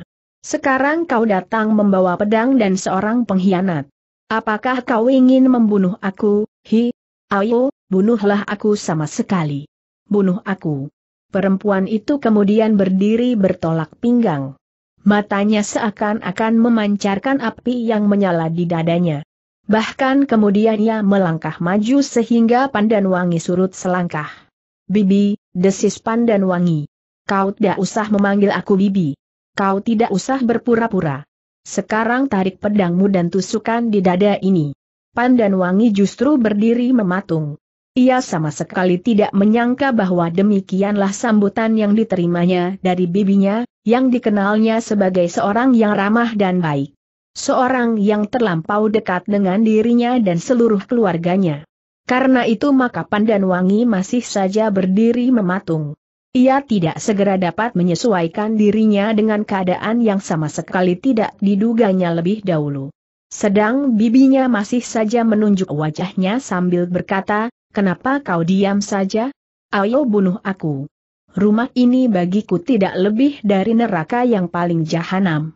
Suamiku telah difitnah orang, anakku laki-laki hilang sampai saat ini. Setiap kali rumah ini dibongkar oleh berandal-berandal yang tidak tahu diri itu. Dan sekarang kaulah yang datang ke rumah ini. Apakah kau mau membongkar rumahku pula? Dan merampok sisa-sisa milikku yang masih ada? Pandan Wangi tidak segera dapat menjawab. Bibinya sudah benar-benar menjadi orang lain. Ayo cepat, lakukan yang kau ingini. Bukankah kau disuruh oleh ayahmu membunuh aku? Pandan Wangi menarik nafas dalam-dalam. Dicobanya untuk mengatur perasaannya. Sekilas dipandangnya Gupita yang berdiri termangu-mangu. Bibi, berkata Pandan Wangi kemudian, tidak ada seorang pun yang menyuruh aku kemari. Jadi, kau datang kemari atas kehendakmu sendiri? Kalau demikian kau akan membunuh aku atas keinginanmu? Tidak, Bibi. Aku sama sekali tidak ingin berbuat demikian. Bohong. Ayo cepat lakukan. Aku memang sudah jemu mengalami keadaan yang paling menyakitkan hati. Orang yang sebelumnya setiap hari datang minta sesuap nasi kepadaku untuk dirinya sendiri, untuk anak-anaknya, dan untuk seluruh keluarganya, orang yang setiap kali datang meminjam segala macam kebutuhan hidup, orang yang menggantungkan hidup keluarganya pada pekerjaan yang kuberikan, tiba-tiba saja sudah memfitnah suamiku. Kini suamiku menjadi korban bersama-sama dengan kemanakannya, Sidanti, dan anaknya sendiri. Anakku. Ternyata aku kini hidup dalam sarang serigala yang liar dan buas. Yang tidak lagi mengenal kebaikan hati dan peradaban. Pandan Wangi menggelengkan kepalanya. Kini nafasnya sudah menjadi semakin teratur dan perasaannya tidak lagi bergejolak tidak menentu. Ia sudah semakin mapan menanggapi sikap bibinya. Karena itu, maka katanya, Bibi, kita semua menyesal atas apa yang sudah terjadi. Kini ayah sedang terluka parah. Bahkan bangun pun ayah sama sekali tidak mampu. Itu adalah karena salahnya sendiri. Mungkin, Bibi. Mungkin ayah sudah bersalah. Tetapi yang melukai ayah itu adalah orang yang pernah melukai hatinya beberapa puluh tahun yang lampau. Omong kosong. Seandainya benar demikian, dendamnya, sudah membakar tanah perdikan ini. Adiknya, anaknya, kemanakannya dan semua orang di atas tanah perdikan ini harus mengalami akibat yang paling pahit. Bibi, jawaban dan wangi, tidak seorang pun yang menghendaki hal itu terjadi. Ayah, Paman, Kakang Sidanti, aku, dan juga Bibi. Tetapi tanpa dapat dicegah lagi, api sudah menjalar di seluruh tanah perdikan ini. Ayah melah sumber dari bencana ini. Mungkin orang lain menganggapnya demikian, Bibi. Tetapi, ayah adalah orang yang paling menyesalkan kejadian ini. Ia adalah kepala tanah perdikan ini. Berapa puluh tahun ayah merintis tanah ini sehingga menjadi sebuah tanah perdikan yang baik. Sudah tentu, bukan maksud ayah untuk menghancur kau tanah ini seperti apa yang terjadi sekarang. Kalau ayah dianggap bersalah, kesalahan ayah adalah menyerahkan Kakang Sidanti kepada Ki Tambak Wedi. Apakah Bibi mengetahui siapakah Ki Tambak Wedi itu? Nyai Arga Jaya mengerutkan keningnya. Namun kemudian ia berkata, Aku tidak peduli siapakah orang yang bernama Ki Tambak Wadi. Aku tidak peduli siapa pun. Tetapi keluargaku kini sudah hancur. Hancur sama sekali. Karena itu, kalau kau akan membunuh aku, bunuhlah. Pandan Wangi menjadi agak bingung kembali menanggapi sikap bibinya. Bibinya seolah-olah sudah tidak mau mendengar apa pun lagi. Ia menjadi demikian berputus asa sehingga hari-hari mendatang adalah hari-hari yang gelap baginya. Dalam pada itu, tiba-tiba Pandan Wangi mengangguk-anggukan kepalanya. Kemudian katanya, Bibi. Aku mengharap Bibi dapat mendengarkan kata-kataku. Aku datang kemari karena aku diutus oleh Paman Argajaya. Himetu bibinya seakan-akan menjadi terbelalak karenanya. Namun kemudian, omong kosong. Kau juga sudah pandai berbohong. Aku tidak mau kau bohongi lagi. Tidak, Bibi, aku tidak berbohong, jawaban dan wangi. Paman kini berada di rumahku, Bibi. Aku sudah tahu, Kakang Arga Jaya sekarang sudah ditangkap dan sebentar lagi ia harus digantung, perempuan itu berhenti sejenak, Lalu suaranya tiba-tiba meninggi, katakan. Katakan kepada ayahmu, bahwa aku harus digantungnya pula bersama Ki Arga Jaya. Mengerti? Tetapi Pandan Wangi menggelengkan kepalanya. Paman tidak akan dihukum apa pun, karena ayah tahu, apa yang terjadi bukan semata-mata kesalahan Paman.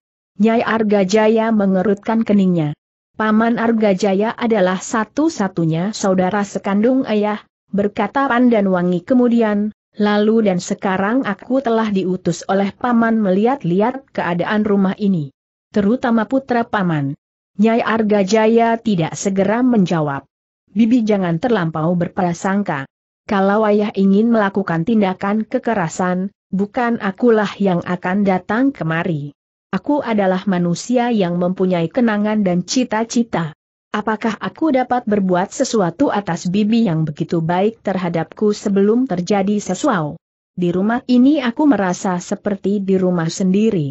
Sepeninggal ibu, bibi adalah ibuku. Nyai Arga Jaya masih tetap berdiam diri. Ditatapnya wajah Pandan Wangi dengan sorot mata yang aneh. Kadang-kadang dari sepasang mata perempuan itu memancar kebencian yang tidak ada taranya. Namun matu itu kemudian redup seolah-olah padam sama sekali. Bibi, desis Pandan Wangi, apakah Bibi dapat mengerti? Apakah Bibi masih dapat mengenal aku sebagai Pandan Wangi yang sering benar berada di rumah ini sebelum terjadi kekisruhan di atas tanah perdikan ini? Nyai Arga Jaya masih tetap berdiam diri. Bibi, ayah sama sekali tidak bermaksud jelek.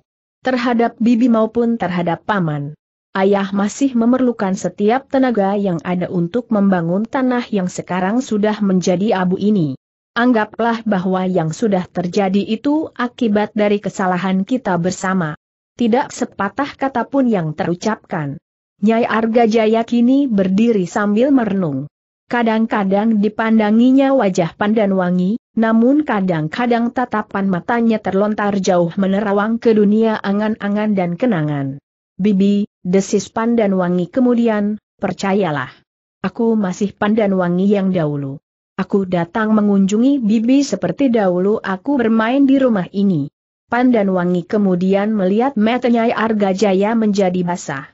Sekali-sekali perempuan itu berpaling memandang Gupita yang berdiri termangu-mangu.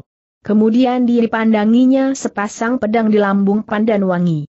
Pandan Wangi yang mengikuti tatapan mata bibinya seolah-olah dapat mengerti apa yang tersirat di dalam hati perempuan itu.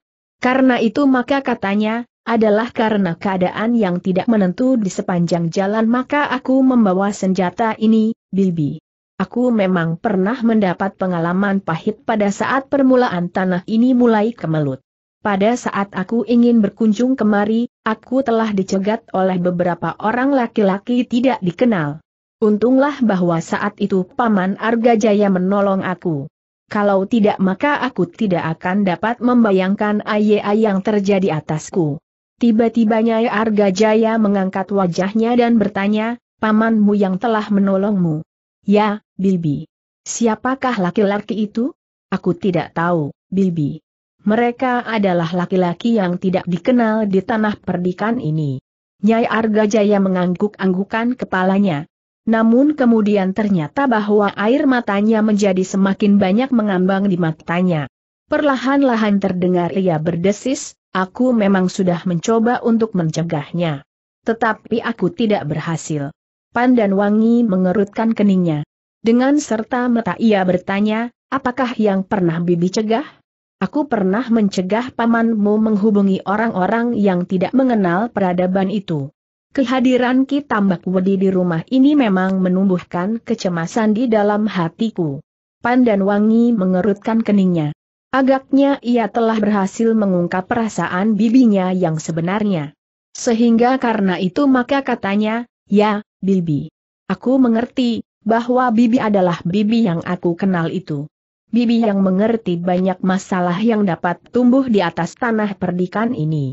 Bukankah Bibi juga yang pernah bercerita kepadaku, tentang Lidi dan Sapu Lidi? Bukankah Bibi juga yang bercerita kepadaku bahwa jari-jari tangan ini satu demi satu tidak banyak berarti, tetapi apabila lima bersama-sama, maka artinya akan besar sekali? Nyai Arga Jaya terdiam sejenak. Bibi, Pandan Wangi kini maju selangkah, aku itulah yang kini datang kepada Bibi, sejenak Nyai Arga Jaya berdiri mematung. Ditatapnya mata Pandan Wangi tajam. Tajam. Namun sejenak kemudian ia meloncat memeluk gadis itu. Meledaklah perasaannya yang selama ini tertekan di dalam dadanya, sehingga rasa-rasanya dada itu akan pecah. Tidak ada seorang pun yang dapat dibawanya berbincang di dalam rumah ini, apalagi sekali-sekali jiwanya yang risau itu masih juga digoncang-goncang oleh ketakutan dan kecemasan karena para pengawal yang memeriksa seisi rumahnya, mencari orang-orang yang mereka sangka bersembunyi di dalam rumah itu. Pandan wangi, terdengar suara perempuan itu di sela-sela tangisnya, kau tidak disuruh oleh ayahmu membunuh aku? Mata Pandan Wangi pun menjadi basah pula. Meskipun tenggorokannya terasa tersumbat, namun ia menjawab, tentu tidak, Bibi. Aku sengaja menengok Bibi sekaligus aku diutus oleh Paman Arga Jaya melihat apakah putra Bibi itu ada di rumah. Tangis Nyai Arga Jaya menjadi semakin keras. Sudahlah, Bibi, Pandan Wangi mencoba menenteramkan hati bibinya, tidak ada yang perlu ditangiskan. Semuanya memang harus terjadi demikian. Yang penting kini, bagaimana masa-masa yang mendatang. Masa yang mendatang itu terlampau gelap bagiku, Pandan Wangi. Aku menyadari betapa besar kesalahan pamanmu dan adikmu. Sebenarnya aku tidak dapat ingkar. Sejak kehadiran kita Mbak Wedi di rumah ini bersama Sidanti, maka aku sudah membayangkan bahwa rumah tangga kecilku ini dan rumah tangga besar tanah perdikan menoreh akan guncang. Itulah sebabnya aku sudah mencoba mencegah pamanmu. Tetapi seperti kau ketahui, Wangi, pamanmu adalah seorang yang keras hati. Ia tidak segera dapat menerima pikiran orang lain, sehingga akhirnya ia sendiri terperosok ke dalam keadaan seperti sekarang. Pandan Wangi mengangguk-anggukan kepalanya. Kemudian, ia berbisik, Bibi, apakah tidak mempersilahkan aku dan kawanku masuk ke dalam? Oh, tentu wangi. Tentu, jawab Nyai Arga Jaya sambil melepas kaap pelukannya. Namun titik air di matanya masih juga melelah di pipinya. Dengan pandangan ragu, Nyai Arga Jaya menatap wajah Gupita yang termangu-mangu. Pandan Wangi menangkap keragu-raguan yang tumbuh di dalam hati bibinya. Agaknya bibinya memang belum pernah melihat anak muda itu. Karena itu maka Pandanwangi berkata, anak muda itu namanya Gupita, Bibi. Ia adalah seorang gembala menurut pengakuannya. Kenapa menurut pengakuannya bertanya Nyai Argajaya? Pandanwangi mengerutkan keningnya. Namun kemudian ia menjawab, ya, ia memang seorang gembala. Tetapi ia mendapat kepercayaan ayah. Karena itu, maka kali ini ia harus mengantarkan aku menghadap Bibi, justru karena keadaan yang masih belum tenang benar. Nyai Argajaya mengangguk-anggukan kepalanya. Kemudian, silahkan masuk. Keduanya pun kemudian masuk ke dalam peringgitan yang agak luas. Tetapi peringgitan itu hampir tidak terpelihara lagi. Dahulu, apabila Pandan Wangi datang ke rumah itu, ia selalu merasakan tangan-tangan bibinya yang mengatur setiap sudut rumah ini dengan tertib. Tetapi sekarang yang dilihatnya adalah sarang laba-laba yang tersangkut pada dinding dan langit-langit. Aku tidak sempat lagi melakukan apa pun juga, desis bibinya, seolah-olah ia tahu apa yang terpercik di dalam hati Pandan Wangi. Bukan karena aku tidak mempunyai waktu, tetapi hatiku sudah seolah-olah patah. Semuanya lepas dari rumah ini. Dan aku tidak memerlukan apa-apa lagi. Tidak, Bibi, jawaban dan wangi. Semuanya masih dapat diharap. Adikmu hilang bersama-sama pasukan pamanmu yang tercerai berai. Pamanmu tertangkap, sedang orang-orang yang mendukungnya telah lenyap. Si Damti pun tidak lagi dapat berbuat apa-apa, sepeninggal gurunya itu. Kesalahpahaman ini akan segera berakhir, apakah kau berkata sebenarnya, Wangi? Tentu, Bibi. Aku berkata sebenarnya. Sejak Kakang Sidanti meninggalkan ayah, maka akulah yang selalu dibawanya beir bicara. Aku adalah orang yang paling dekat, sehingga aku mengenal benar-benar jalan pikiran ayah. Itulah sebabnya aku mengetahui, bahwa sebenarnya ayah tidak menaruh dendam.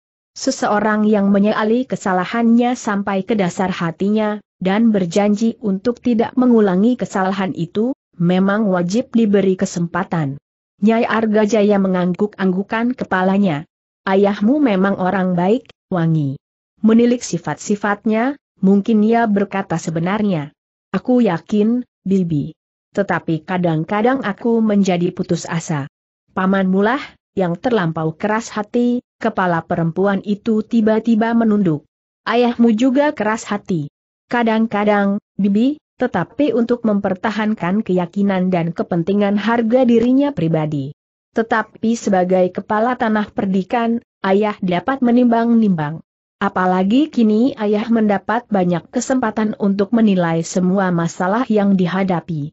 Karena luka-lukanya, sehingga ayah mempergunakan seluruh waktunya untuk berbaring. Dengan demikian ayah tidak sekedar dikejar oleh kekecewaan semata-mata karena tanah yang selama ini dibinanya, telah menjadi abu. Tetapi ayah sempat memikirkan, bagaimana masa depan dari tanah perdikan menoreh ini. Nyai Arga Jaya mengangguk-anggukan kepalanya. Karena itu, Bibi, maka aku telah datang kemari untuk mengunjungi Bibi dan membawa putra Bibi menghadap ayah. Ayah tidak akan menghukumnya dan terlebih-lebih lagi paman memang memerlukannya. Pan dan Wangi mengerutkan keningnya ketika ia melihat mata bibinya menjadi berkaca-kaca kembali. Adikmu tidak ada di rumah, Wangi. Sejak pertempuran di malam itu, ia seakan-akan hilang daripadaku. Malam itu ia hanya singgah sejenak, mengambil beberapa potong pakaian. Kemudian ia pergi lagi bersama beberapa orang yang sebagian dari mereka tidak aku kenal. Apakah anak itu tidak mengatakan, ke mana ia akan pergi? Bibinya menjadi ragu-ragu. Tetapi kemudian ia menggeleng. Tidak, Wangi. Pan dan Wangi menarik nafas dalam-dalam. Katanya, aku benar-benar telah diutus oleh Paman, Bibi. Paman tentu akan sangat bersenang hati apabila aku dapat membawanya. Nyai Arga Jaya tidak segera menjawab. Namun dada Gupitalah yang menjadi berdebar-debar. Ia sependapat dengan Pandan Wangi, seperti gurunya pernah berkata, bahwa Ki Arga Jaya telah minta agar puteranya mendapat pengampunan, dan Ki Argapati sama sekali tidak berkeberatan. Tetapi kalau anak itu dapat dibawanya bersama-sama saat ini, maka ia akan kehilangan waktu. Hem, Gupita berkata di dalam hatinya, Ternyata aku telah dicengkam oleh masalah itu. Aku tidak sempat lagi memikirkan persoalan lain lagi, kecuali persoalan Gupala. Apakah Bibi masih ragu-ragu desak Pandan Wangi? Tetapi Nyai Arga Jaya menggeleng. Tidak, Wangi. Aku tidak ragu-ragu. Tetapi aku benar-benar tidak tahu ke manakah adikmu itu sekarang. Pandan Wangi menarik nafas dalam-dalam. Katanya kemudian, kadang-kadang aku, ayah dan apalagi paman, menjadi cemas. Sangat cemas, bahwa anak itu akan terseret arus yang tidak dikenalnya itu semakin lama semakin jauh. Kalau arus itu berbenturan dengan kekuatan menoreh yang tidak mengerti sama sekali tentang hubungan lain daripada hubungan antara lawan, maka keadaannya akan menjadi semakin sulit, Pandan Wangi berhenti sejenak, lalu, Bibi, ayah sudah mengumumkan pengampunan umum. Siapa pun yang menyesali perbuatannya dan menyerah, akan mendapat pengampunan, meskipun mereka masih akan tetap mendapat pengawasan. Apalagi paman, dan orang-orang yang masih ada sangkut pautnya dalam hubungan darah seperti anak itu. Tetapi yang dilihat oleh Pandan Wangi adalah titik air mata dari mata bibinya. Suaranya menjadi parau, menyesal sekali, Wangi anak itu seakan-akan telah hilang daripadaku. Pandan Wangi menarik nafas dalam-dalam. Dipandanginya wajah bibinya tajam-tajam.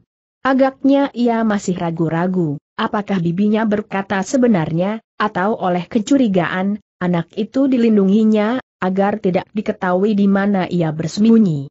Namun oleh air mata bibinya yang semakin deras, serta kepalanya yang semakin menunduk, Pandan Wangi kemudian mempercayainya bahwa bibinya berkata dengan jujur, bahwa ia benar-benar tidak tahu di mana anak laki-lakinya bersembunyi. Dengan demikian maka sikap Pandan Wangi pun kini berubah.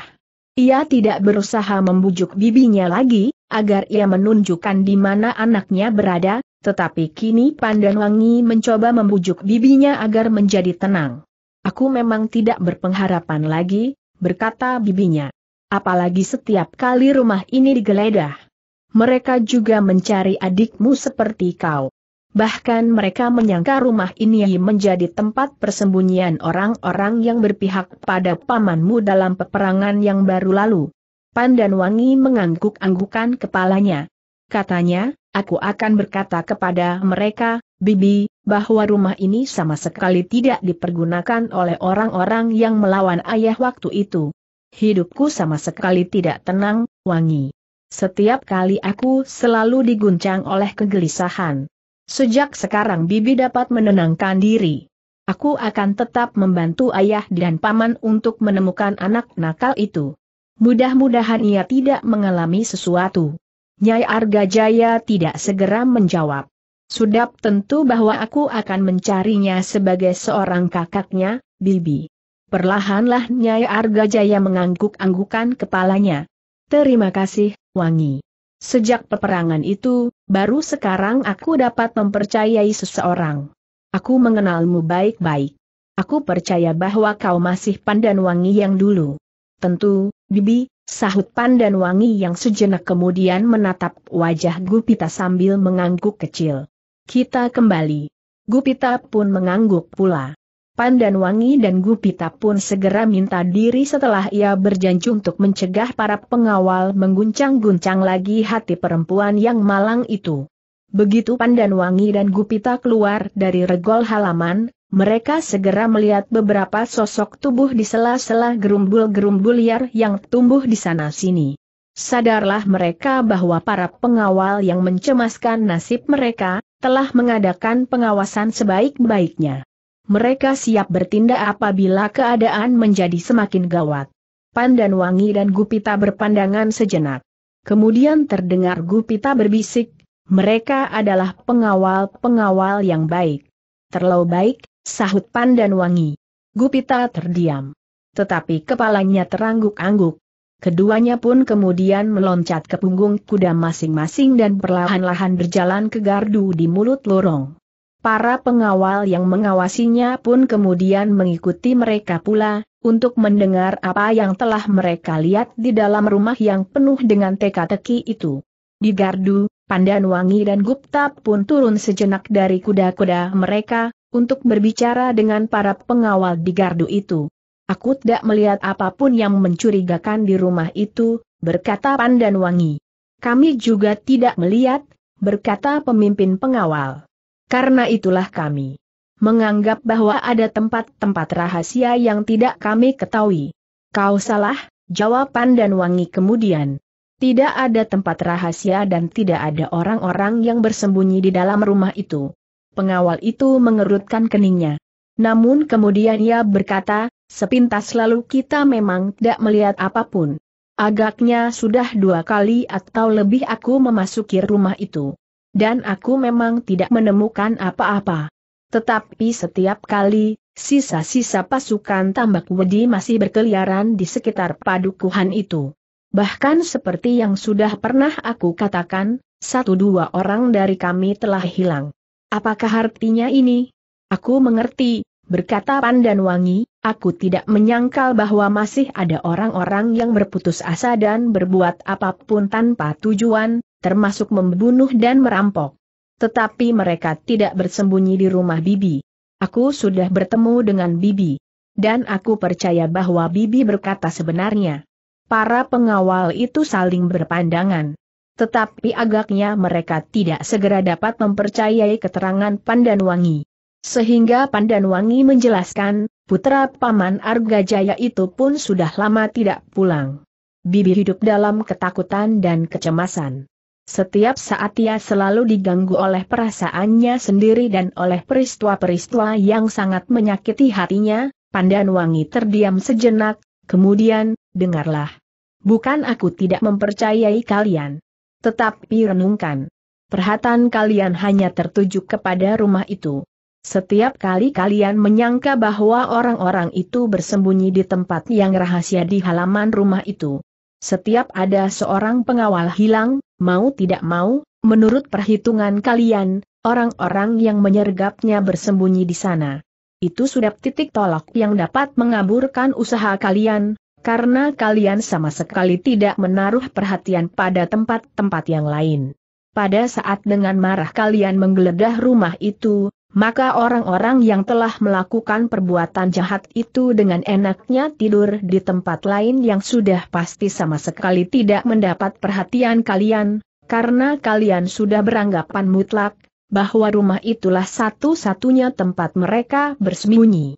Tetapi, pemimpin pengawal itu masih tidak puas, salah seorang dari kami pernah melihat seseorang meloncat masuk ke dalam rumah itu. Itulah kecakapan mereka. Mereka memang membuat kesan seolah-olah rumah itu adalah tempat persembunyian yang paling baik bagi mereka.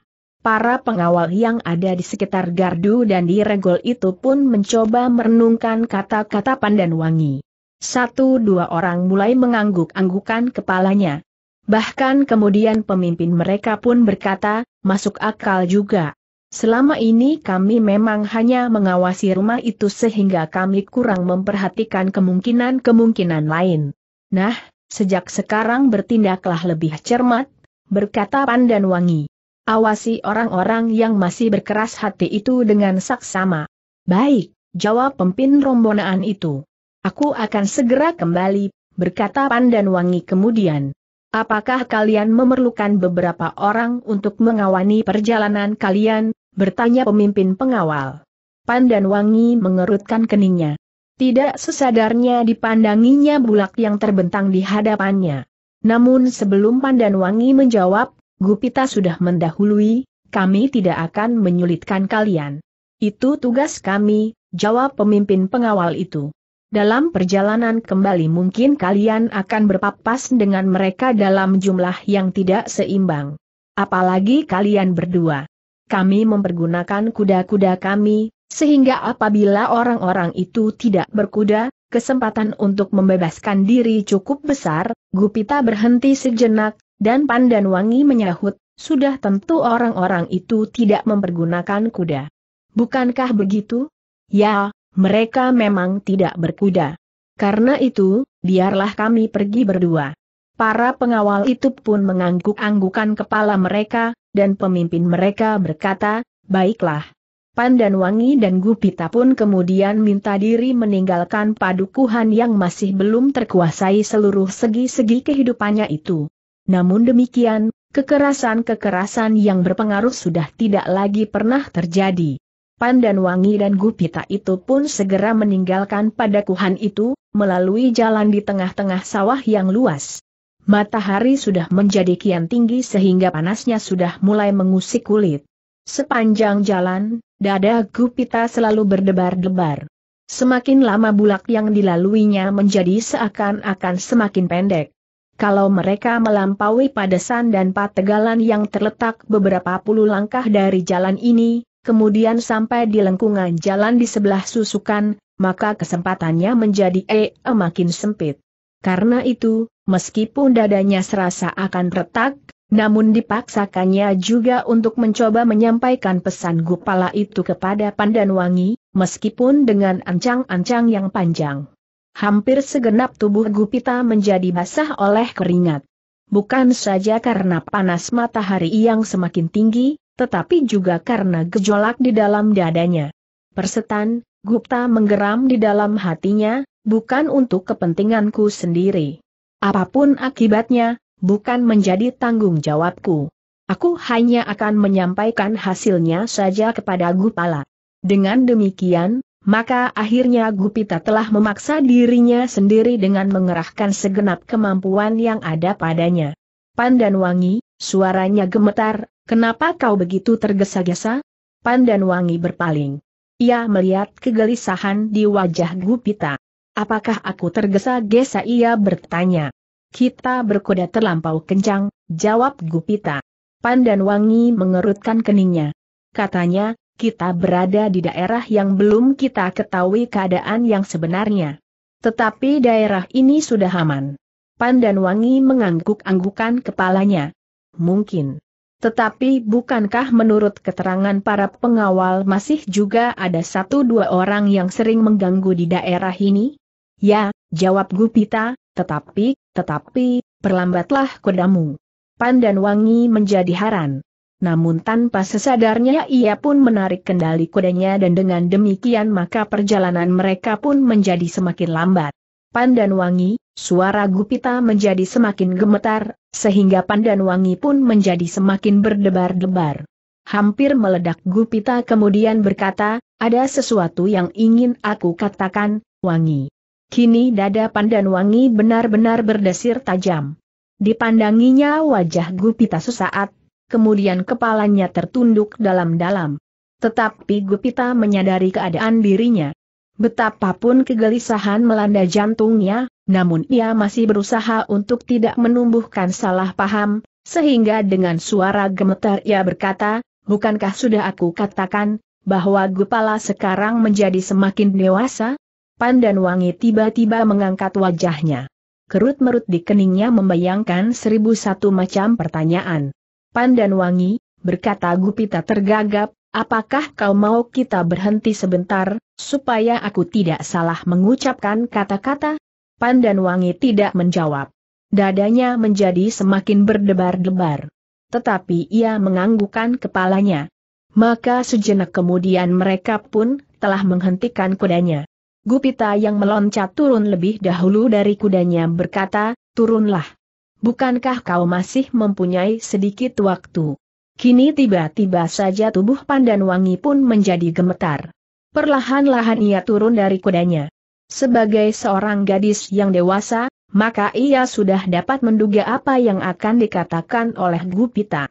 Namun justru karena itu, maka Pandan Wangi menjadi semakin berdebar-debar. Gupita yang sudah basah kuyup oleh keringatnya itu mencoba untuk menenangkan hatinya disekanya keringat di keningnya. Lalu katanya, Pandan Wangi, aku tidak tahu bagaimana aku akan mengatakannya. Tetapi aku sebenarnya membawa pesan dari Gupala. Itulah sebenarnya, mengapa aku memaksamu untuk pergi berdua. Seperti warna merah membayang di wajahnya, sedang kepalanya pun menjadi semakin tunduk karenanya. Namun demikian, terjadi juga kejutan yang menghentak di dada Pandan Wangi. Gupita sekedar membawa pesan Gupala. Apa yang akan dikatakan oleh Gupita adalah ungkapan perasaan Gupala. Kenapa sebuah pertanyaan telah menyenyuh hatinya? Kenapa Gupita tidak mengatakan tentang dirinya sendiri? Meskipun demikian sebuah keraguan-raguan telah mengisuhkan perasaannya pula. Gupala memang mempunyai kesan yang tersendiri. Seorang periang dengan hati terbuka, Tetap kenapa ia tidak mengatakannya sendiri? Dalam kebembangan itu terdengar Gupita berkata, Pandan Wangi, bukankah kau bersedia mendengarkannya? Sebagai seorang saudara tua aku memang wajib menolongnya, memecahkan kesulitan yang selalu mengganggunya siang dan malam. Pandan Wangi tidak menjawab. Tetapi kepalanya kini menjadi semakin menunduk. Gadis yang membawa sepasang pedang itu pun kemudian perlahan-lahan duduk di bawah sebuah gerumbul perdu. Setitik air matanya jatuh di pangkuannya. Dengan jari-jarinya gadis itu mengusap sudut matanya yang membasah. Gupita menjadi semakin gelisah. Ia memang tidak biasa menghadapi seorang gadis yang sedang menangis. Karena itu, maka ia pun berjalan hilir mudik di belakang Pandan Wangi keduanya sama sekali sudah tidak ingat lagi kepada sisa-sisa pasukan Kitambak Wadi. Keduanya sudah tidak ingat lagi bahwa kadang-kadang masih saja ada satu dua orang yang hilang di dalam perjalanan dari padukuhan yang baru ditinggalkannya ke padukuhan di seberang bulak yang panjang itu. Pandan Wangi yang duduk di bawah gerumbul perdu itu tidak segera dapat menjawab. Terasa hatinya menjadi kacau. Sebenarnya kerisauan itu sudah lama membayanginya. Kedua anak-anak muda itu memang mempunyai kelebihannya masing-masing. Namun bagi Pandan Wangi, Gupiti pernah dikenalnya lebih dahulu, sehingga pahatan yang ada di dinding jantungnya, agak lebih dalam dari adiknya yang menyusul kemudian. Sekilas bahkan terbayang seorang anak muda yang bertubuh rakasa, Warahasta. Anak muda yang malang itu sama sekali tidak berhasil menggetarkan hatinya, meskipun di saat terakhir ia terpaksa menganggukkan kepalanya, Pandan Wangi sama sekali tidak menyangka, bahwa anggukan kepala itu, anggukan yang hanya dilakukannya sekali, telah membekas pula di dalam hatinya. Seandainya saat itu Rahasta dapat ditolong, Pertanyaan itu pun selalu mengejarnya, apakah yang akan aku lakukan? Kini ia dihadapkan pula pada persimpangan jalan. Tetapi kedua-duanya adalah kakak beradik, meskipun menurut dugaanku hanya sekedar kakak beradik seperguruan, desis Pandan Wangi di dalam hatinya. Namun demikian sudah barang tentu, Pandan Wangi tidak akan dapat mempertentangkan keduanya. Kini Gupita datang kepadanya, menyatakan perasaan yang tersimpan di dalam hati, tapi hati adiknya. Gupala. Pandan Wangi memang menjadi bingung. Ia tidak tahu, manakah yang lebih menggembirakan hatinya. Apakah Gupita menyatakan perasaannya sendiri, atau seperti yang dilakukan Rakini. Gupita pun menjadi semakin gelisah karenanya. Bahkan kadang-kadang jantungnya serasa berhenti mengalir. Ketika Pandan Wangi duduk tertunduk, tanpa sesadarnya, dipandanginya gadis itu. Dalam sekilas, kenangannya langsung melontar ke sangkal putung. Tanpa dikehendakinya sendiri, Gupita pun mulai membandingkan kedua gadis itu. Pandan Wangi mempunyai banyak kelebihan, terdengar kata-kata itu terlonjak di dasar hatinya. Anak ini mampu bermain pedang, kata-kata itu terdengar terus, tetapi ia sama sekali bukan seorang anak yang manja dan tinggi hati. Ia tahu benar kewajibannya. Baik sebagai seseorang yang berpedang, maupun sebagai seorang gadis. Sambil menyandang pedang, Pandan Wangi berjongkok di muka api menanak nasi dan merebus air. Tetapi Gupita tergagat ketika tiba-tiba saja Pandan Wangi mengangkat wajahnya dan berpaling. Benturan pandangan match mereka, membuat keduanya menjadi gemetar. Untuk mengusir kesan yang tersirat di wajahnya, Gupita berkata dengan gugup, bagaimana, Wangi? Aku sudah mengatakan apa yang harus aku katakan. Sekedar pesan Gupala. Pandan Wangi masih belum menjawab.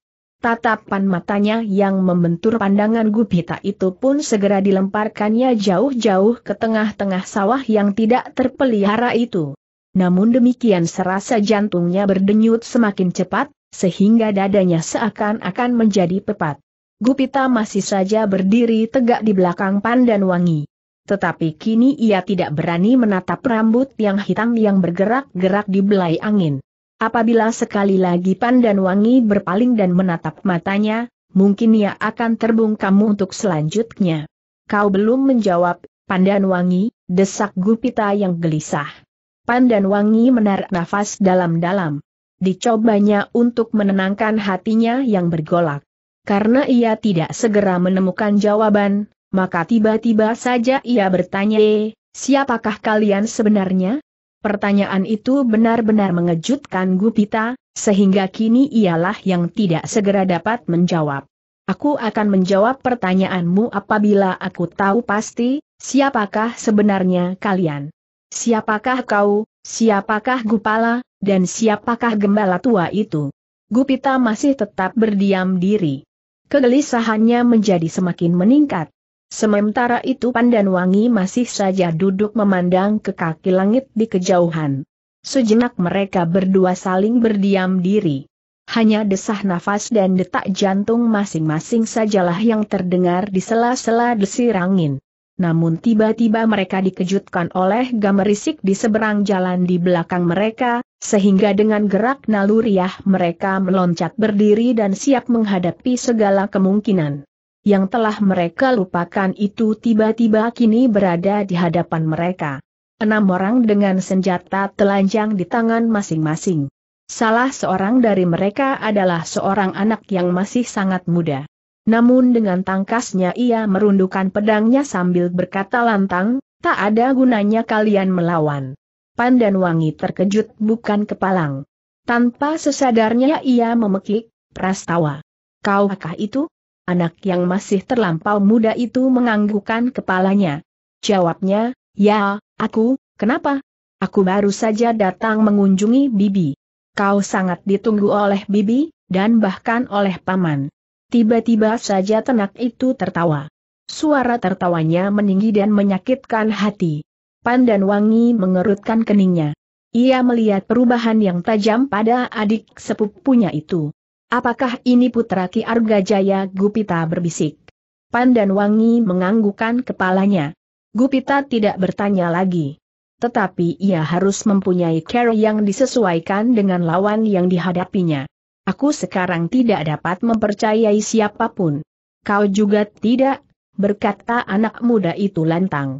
Aku hanya percaya kepada diriku sendiri. Pandan Wangi tidak segera menyaut. Tetapi ia mencoba mengenal kawan-kawan adik sepupunya itu seorang demi seorang. Semula aku tidak menyangka bahwa kaulah yang lewat berdua di jalan ini. Aku kira kau berdua adalah sebangsa cucurut penjilat yang memuakan, sehingga aku memutuskan untuk membunuh saja kalian berdua dan kubawa kepalamu sebagai pangawan ewan kepada pokan admcadangan.wordpress.com. Tetapi aku tertegun ketika aku mengenal kau. Aku menjadi ragu, apakah aku akan membunuhmu atau tidak. Namun agaknya keadaanmu yang memuakan pula itu telah mendorong aku untuk meneruskan rencana ini. Kau sudah bercumbu dengan orang asing ini. Tanpa malu-malu kau sudah melakukan perbuatan tercela di tengah jalan meskipun kau yakin bahwa jalan ini terlampau sepi. Seandainya yang menemukan kau bukan aku, tetapi para perondamu sendiri pun, kau akan dicela dan ditandai dengan noda hitam di keningmu. Apalagi kau putri kepala tanah perdikan menoreh yang hampir mati itu. Prastawa, suara pandan wangi menyentak, jangan salah sangka. Seharusnya kau bertanya, apa yang sedang aku lakukan? Kenapa aku harus bertanya? Aku sudah melihat apa yang terjadi. Kau menyesali dirimu sendiri, sehingga kau menangis. Oh, kau sudah menodai nama baik tanah perdikan ini. Karena itu, kalian berdua harus mati. Apa yang harus aku sesali bertanya Pandan Wangi lantang? Tentu tentang dirimu sendiri. Tetapi yang sudah terlanjur itu tidak akan dapat kau perbaiki. Apakah aku harus mengatakan? Apakah aku harus menunjuk percikan lumpur di wajahmu? Hi, apa yang kalian kerjakan di semak-semak perdu itu? Lalu kenapa kau menangis? Jelas? Prastawa Pandan Wangi hampir menjerit. Kau sudah kehilangan nalar. Tetapi anak muda itu tertawa berkepanjangan. Katanya kemudian, sebagai seorang adik, Aku malu sekali mempunyai kakak perempuan seperti kau. Sebagai orang menoreh, aku merasa tersinggung, bahwa kau sudah menyerahkan dirimu pada orang asing, dan sebagai putra ayah, Ki Argajaya, aku memang harus membalas dendam.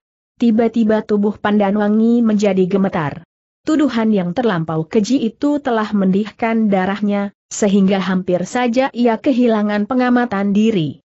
Sebagai seorang gadis, ia tersinggung sekali oleh kata-kata adik sepupunya. Apalagi semuanya itu tidak benar sama sekali. Prastawa, berkata Pandan Wangi dengan suara gemetar, kau jangan asal berbicara saja. Kau salah sama sekali. Tidak terjadi apa pun di sini. Tetapi suara tertawa anak itu benar-benar menyakitkan hati. Dalam pada itu, Gupita agak lebih mengendalikan perasaannya daripada Pandan Wangi, karena Gupita bukan seorang gadis. Kini justru ia berhasil mengatur detak jantungnya yang semula berdentangan di dadanya. Kisanak, ia mencoba berkata sereh, Pandan Wangi memang menitikan air mata. Tetapi sama sekali tidak seperti yang kau duga. Kami berdua baru saja datang mengunjungi ibumu dengan maksud yang sebaik-baiknya. Semula ibumu tidak dapat menerima kami, namun perlahan-lahan ia dapat menyadari keadaannya. Omong kosong. Tunggu, aku belum selesai, potong Gupita.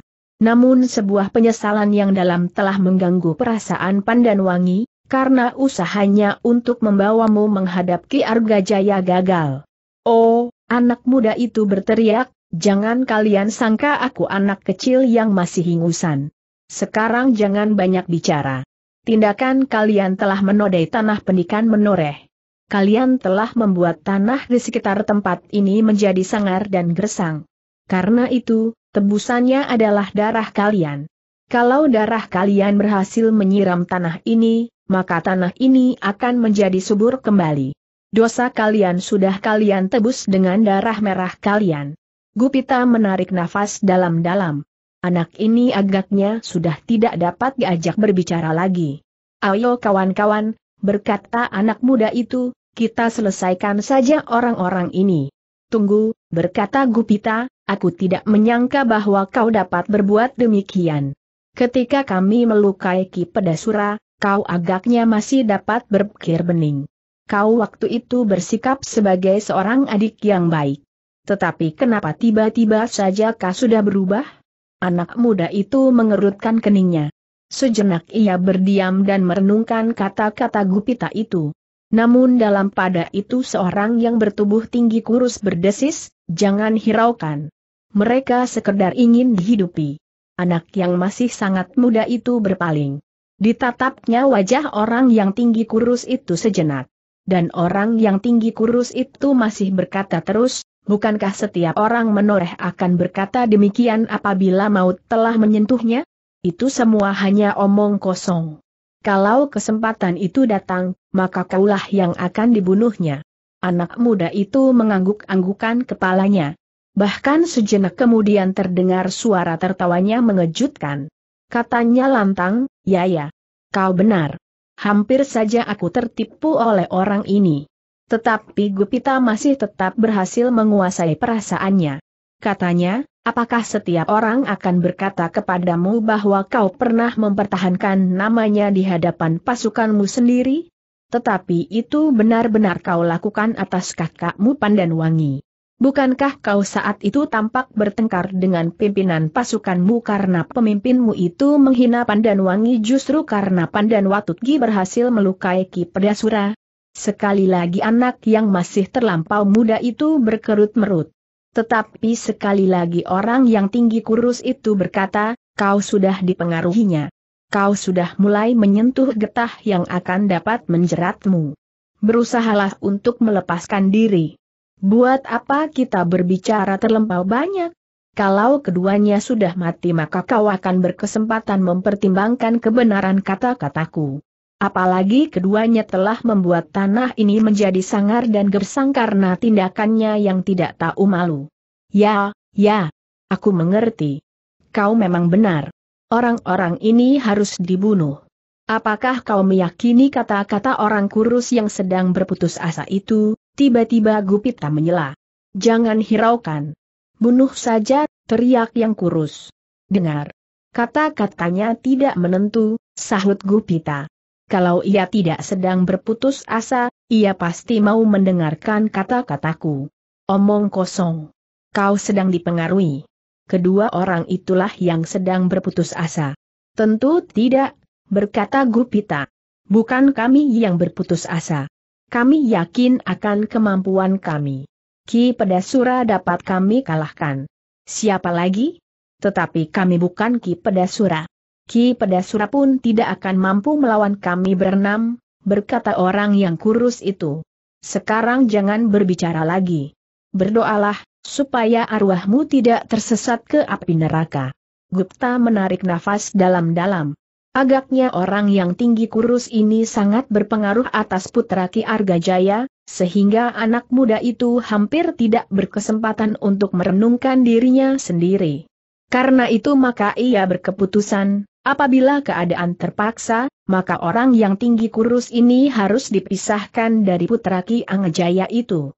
Sebenarnya lah bahwa Gupita memang tidak sempat untuk berbicara lagi. Orang-orang itu sudah siap untuk menyergap mereka dengan senjata masing-masing. Tidak ada jalan lain, bisik Gupita, kita memang harus membela diri, Pandan Wangi mengangguk-anggukan kepalanya. Sayang anak itu. Ia masih mempunyai harapan. Orang yang tinggi kurus itu harus dipisahkan daripadanya. Hi, teriak orang yang tinggi kurus ini, apa yang kau katakan? Kami sedang membicarakan kau.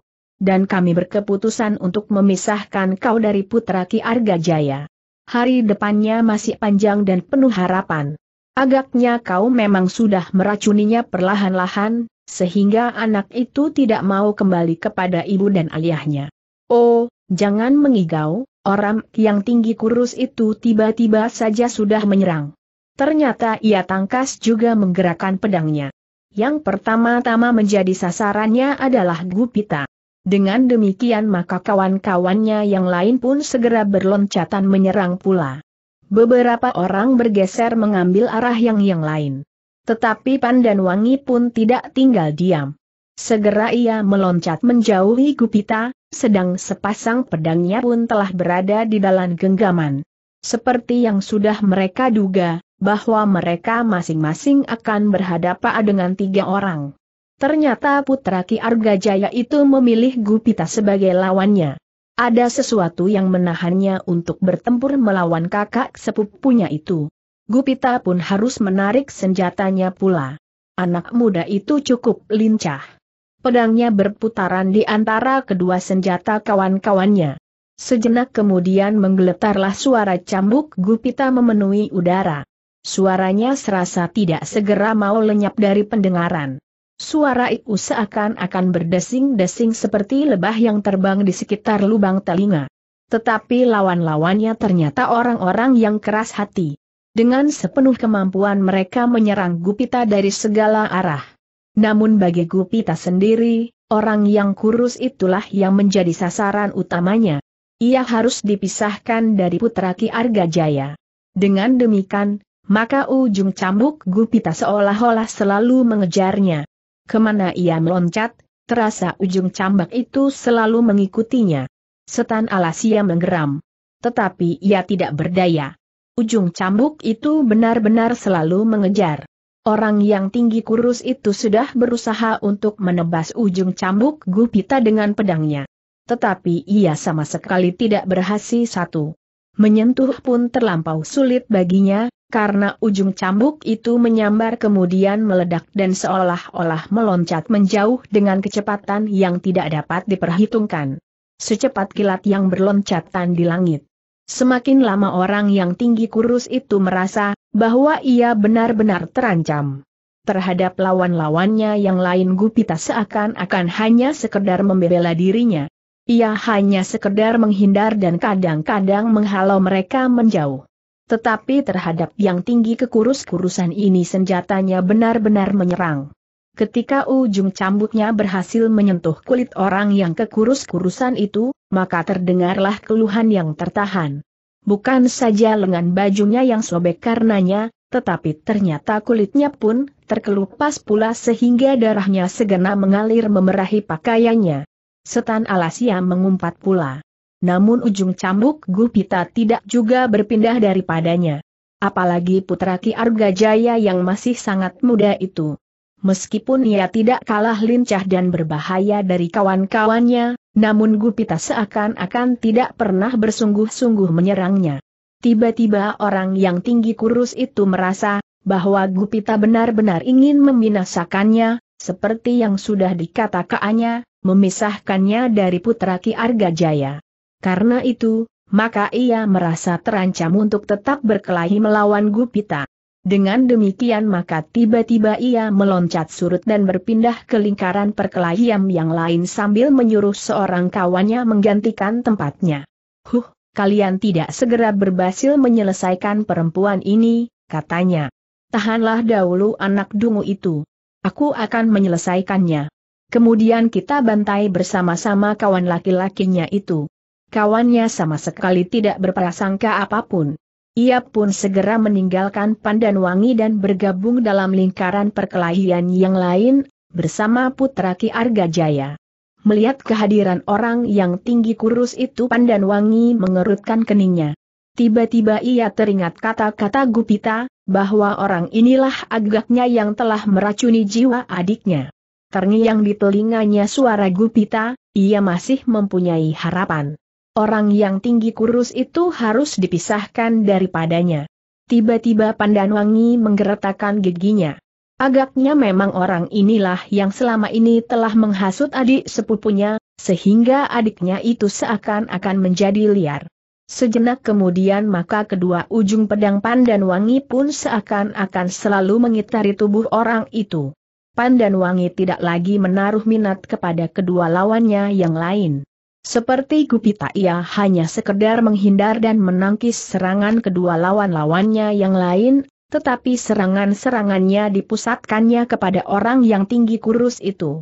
Sesaat setelah orang yang tinggi kurus itu bergabung dalam lingkaran pertempuran yang baru, ia belum merasakan tekanan ujung pedang pandan wangi. Tetapi sejenak kemudian, orang itu terpaksa mengumpat-umpat lagi. Di dalam hatinya ia berkata, setan betina ini pun agaknya memusatkan serangannya kepadaku. Semula orang yang tinggi itu bertanya-tanya kepada dirinya sendiri, kenapa serangan-serangan lawannya dipusatkannya kepadanya. Tidak kepada orang lain, dan tidak kepada putra Ki Arga Jaya. Namun akhirnya ia menyadari dirinya. Kedua orang itu memang menganggap dirinya sebagai penghasut atas putra Ki Arga Jaya, sehingga anak itu benar-benar berniat ingin membunuh mereka. Dengan demikian maka kedua orang itu pasti mendendamnya. Satu hal yang tidak diduganya, bahwa kedua orang itu mempunyai kemampuan yang luar biasa, sehingga masing-masing mampu bertahan atas tiga orang sekaligus. Tetapi sebentar lagi tenaga mereka pasti akan segera susut, orang yang tinggi kurus itu mencoba menenteramkan hatinya yang sudah mulai gelisah. Tetapi dugaan itu ternyata keliru. Meskipun masing-masing harus berkelahi melawan tiga orang, namun ternyata mereka berdua memang mempunyai kemampuan yang tidak dapat diperkirakan sebelumnya. Sepeninggal orang yang tinggi kurus itu Gupita merasa seakan-akan kehilangan sasaran. Karena itu, maka seolah-olah ia tidak berkelahi bersungguh-sungguh. Ia hanya sekedar berusaha menyelamatkan dirinya dari ujung-ujung senjata lawannya. Tetapi ia sama sekali tidak berusaha untuk mengurangi jumlah lawannya itu dengan kematian apalagi putra Ki Arga Jaya. Ia memang ingin membuat kesan bahwa apa yang dikatakan itu memang benar-benar bermaksud baik. Caption, Pandan Wangi tidak menjawab. Tetapi kepalanya kini menjadi semakin menunduk. Gadis yang membawa sepasang pedang itu pun kemudian perlahan-lahan duduk di bawah sebuah gerumbul perlu. Setitik air matanya jatuh di pangkuannya. Dengan jari-jarinya gadis itu mengusap sudut matanya yang membasah. Namun dalam pada itu, orang yang tinggi kurus itu sudah mandi keringat di seluruh tubuhnya. Bukan saja ia menjadi semakin gelisah, tetapi ternyata ia benar-benar telah hampir kehilangan akal. Ujung-ujung pedang pandan wangi seakan-akan mempunyai mata yaak tajam, yang dapat melihat ke mana pun ia menghindar. Ia terloncat surut sambil menyeringai ketika segores luka telah menyobek pundaknya. Sambil mengumpat-umpat ia meraba-raba pundaknya yang terluka itu. Ketika terpandang olehnya jari-jarinya sendiri hatinya berdesir tajam. Warna merah yang tajam telah membasahi tangannya. Setan alas. Apakah hanya aku yang mereka anggap lawan? Pertanyaan itu selalu mengganggunya. Sejenak ia dihinggapi oleh penyesalan, bahwa ia telah dengan terus terang menghasut putra Ki Argajaya, sehingga orang-orang itu langsung dapat menilai dirinya. Tetapi aku tidak menyangka bahwa mereka dapat bertahan, katanya di dalam hati. Kini, mau tidak mau ia harus bertempur tetapi ia terdesak dalam keadaan sekedar membela diri. Dalam pada itu, selagi mereka bertempur dengan serunya, dua pasang metu mengawasi pertempuran itu dengan tajamnya. Yang seorang dengan wajah yang tegang dan merah padam oleh kemarahan yang serasa menyesakkan dadanya. Guru, bukankah kita mendengar apa yang dikatakan oleh anak yang masih sangat muda itu, bahwa keduanya telah melakukan pelanggaran yang memalukan? Jangan percaya, jawab yang lain. Kenapa? kita dapat menemui mereka, dan bertanya sebaik-baiknya. Sejenak mereka terdiam, seolah-olah terpukau oleh pertempuran yang menjadi semakin seru. Sambil menahan nafas mereka menyaksikan senjata baradu dan gemeletarnya cambuk Gupita. Di dalam hati keduanya mengakui bahwa Gupita memang seorang yang pilih tanding. Tetapi gadis kawannya bertempur itu pun mempunyai banyak kelebihan dari lawan-awannya. Ia mampu melawan tiga orang tanpa menemui kesulitan apa pun. Bahkan ia masih juga dapat melukai orang yang tinggi kekurus-kurusan itu. Aku tidak sabar lagi, desis yang seorang. Dengarlah kata-kataku, sahut yang lain, gurunya, kau tidak perlu berbuat sesuatu. Kita dapat menunggu sampai perkelahian itu berakhir, aku tidak sabar lagi, guru. Kau diombang-ambingkan oleh perasaanmu. Pergunakanlah nalarmu. Orang itu menggerar. Tetapi wajahnya justru menjadi semakin tegang. Aku mengharap kedua orang itu berhasil mengalahkan lawan-lawannya, gumamnya. Tentu, menilik perhitunganku, mereka akan menang. Dan aku mendapat kesempatan untuk berperang tanding, kau harus mencoba mengendalikan diri. Muridnya tidak menjawab. Tetapi sorot matanya masih saja menyala seperti api yang tersiram minyak. Pertempuran itu sendiri memang berlangsung semakin seru. Gupita dan Pandanwangi berhasil menekan lawan-lawan mereka, sehingga keenam orang itu sama sekali sudah tidak mampu untuk berbuat apa-apa. Apalagi orang yang tinggi kekurus-kurusan itu. Lukanya semakin lama menjadi semakin banyak. Kau adalah sumber malapetaka yang menimpa adikku, desis Pandanwangi. Aku kira akan lebih baginya kalau kau tidak mengganggunya lagi untuk seterusnya. Orang itu pun menggeram pula tetap ia benar-benar sudah tidak berpengharapan. Meskipun demikian ia masih juga melawan bersama-sama dengan kawan-kawannya. Putra Ki Argajaya pun kemudian harus melihat kenyataan yang dihadapinya. Kawannya yang tinggi kekurus-kurusan itu sudah terluka. Sedang kawan-kawannya yang lain sama sekali tidak berdaya melindunginya. Dengan demikian ia pun mulai ragu-ragu. Kalau ia bersama kawan-kawannya meneraskan perlawanan, maka hampir tidak dapat diharapkan bahwa mereka akan dapat mempertahankan diri. Kalau mereka gagal, dan apalagi berhasil ditangkap, maka nasibnya akan menjadi terlampau jelek. Bukan karena takut digantung di alun-alun, tetapi untuk menjadi tontonan adalah sama sekali tidak menarik. Karena itu maka putra Ki Argajaya itu pun segera membuat pertimbangan-pertimbangan. Ia memang melihat beberapa keanehan di dalam pertempuran itu.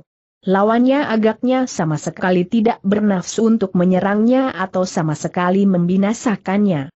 Orang yang bersenjata cambuk itu seperti orang yang hanya sekedar membela dirinya saja, betapapun beratnya. Hanya kadang-kadang saja ia berusaha menyerang lawan-lawannya, untuk mengurangi tekanan-tekanan ketiga ujung senjata yang kadang-kadang berbareng mematuknya apalagi apabila dilihatnya kawan-kawannya pun sama sekali sudah tidak banyak berdaya. Karena itu akhirnya, dengan pahit anak muda itu harus mengakui keunggulan lawannya kali ini. Biasanya dengan penuh kebanggaan mereka membinasakan siapa pun yang dapat mereka jumpai di tengah-tengah bulak yang panjang itu. Namun kali ini keadaan menjadi sangat berbeda. Dua orang lawannya itu, dengan mudahnya mampu mendesak enam orang kawan-kawannya yang terpilih. Tidak ada jalan lain, katanya di dalam hati, lari adalah jalan yang jauh lebih baik dari digantung di alun-alun. Akhirnya keputusan itu jatuhlah. Putra Ki Argajaya itu tidak sempat minta pertimbangan kepada kawannya yang tinggi kekurus-kurusan, karena ia sendiri masih terlampau sibuk dengan ujung cambuk Gupita, sedang kawan-kawannya selalu saja digantungi oleh nasib mereka masing-masing. Apalagi kawannya yang tinggi kurus itu. Dengan demikian, maka anak muda itu pun segera memberikan isyarat sehingga kawan-kawannya segera mengerti, mereka harus melarikan diri. Tidak seorang pun yang merasa berkeberatan untuk melakukan perintah U. Dengan demikian, maka sekejap kemudian, mereka pun telah berloncatan meninggalkan Arna. Tetapi baik Gupita maupun Pandanwangi merasa berkeberatan apabila orang yang tinggi kurus itu meninggalkan Arna pula bersama kawan-kawannya. Karena itu, hampir berbareng keduanya memburu. Mereka hampir tidak menghiraukan lagi kelima orang yang lain, juga putra Ki Arga Jaya. Di dalam hati keduanya, baik Pandanwangi maupun Gupita, berpendapat bahwa apabila orang yang tinggi kurus ini tidak lagi berada bersama-sama dengan anak yang masih terlampau muda itu, maka ia akan mendapat kesempatan untuk menilai segala perbuatannya. Mungkin ia akan segera teringat kepada ibunya atau sanak saudaranya di padepokan admcadangan.wordpress.com.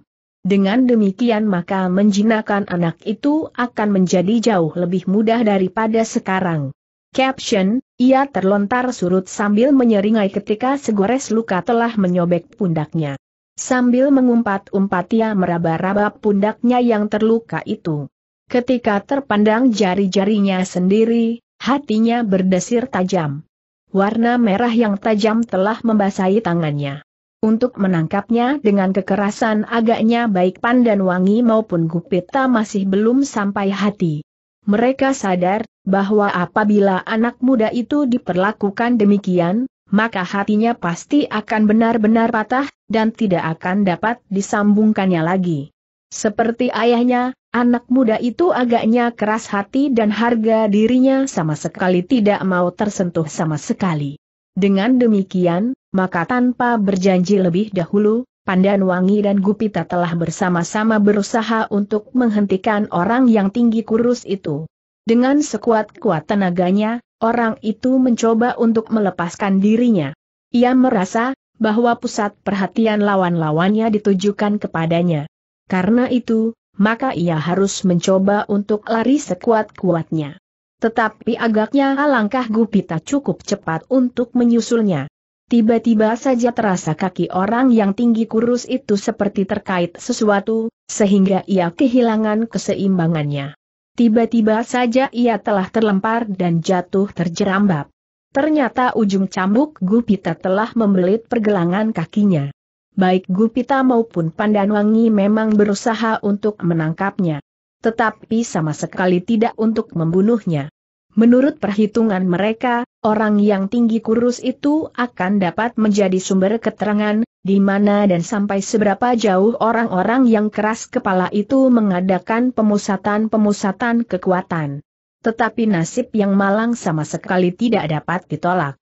Ketika orang yang tinggi kurus itu terlempar dan jatuh menelungkup, maka ujung senjatanya sendiri telah terhunjam ke dalam perutnya.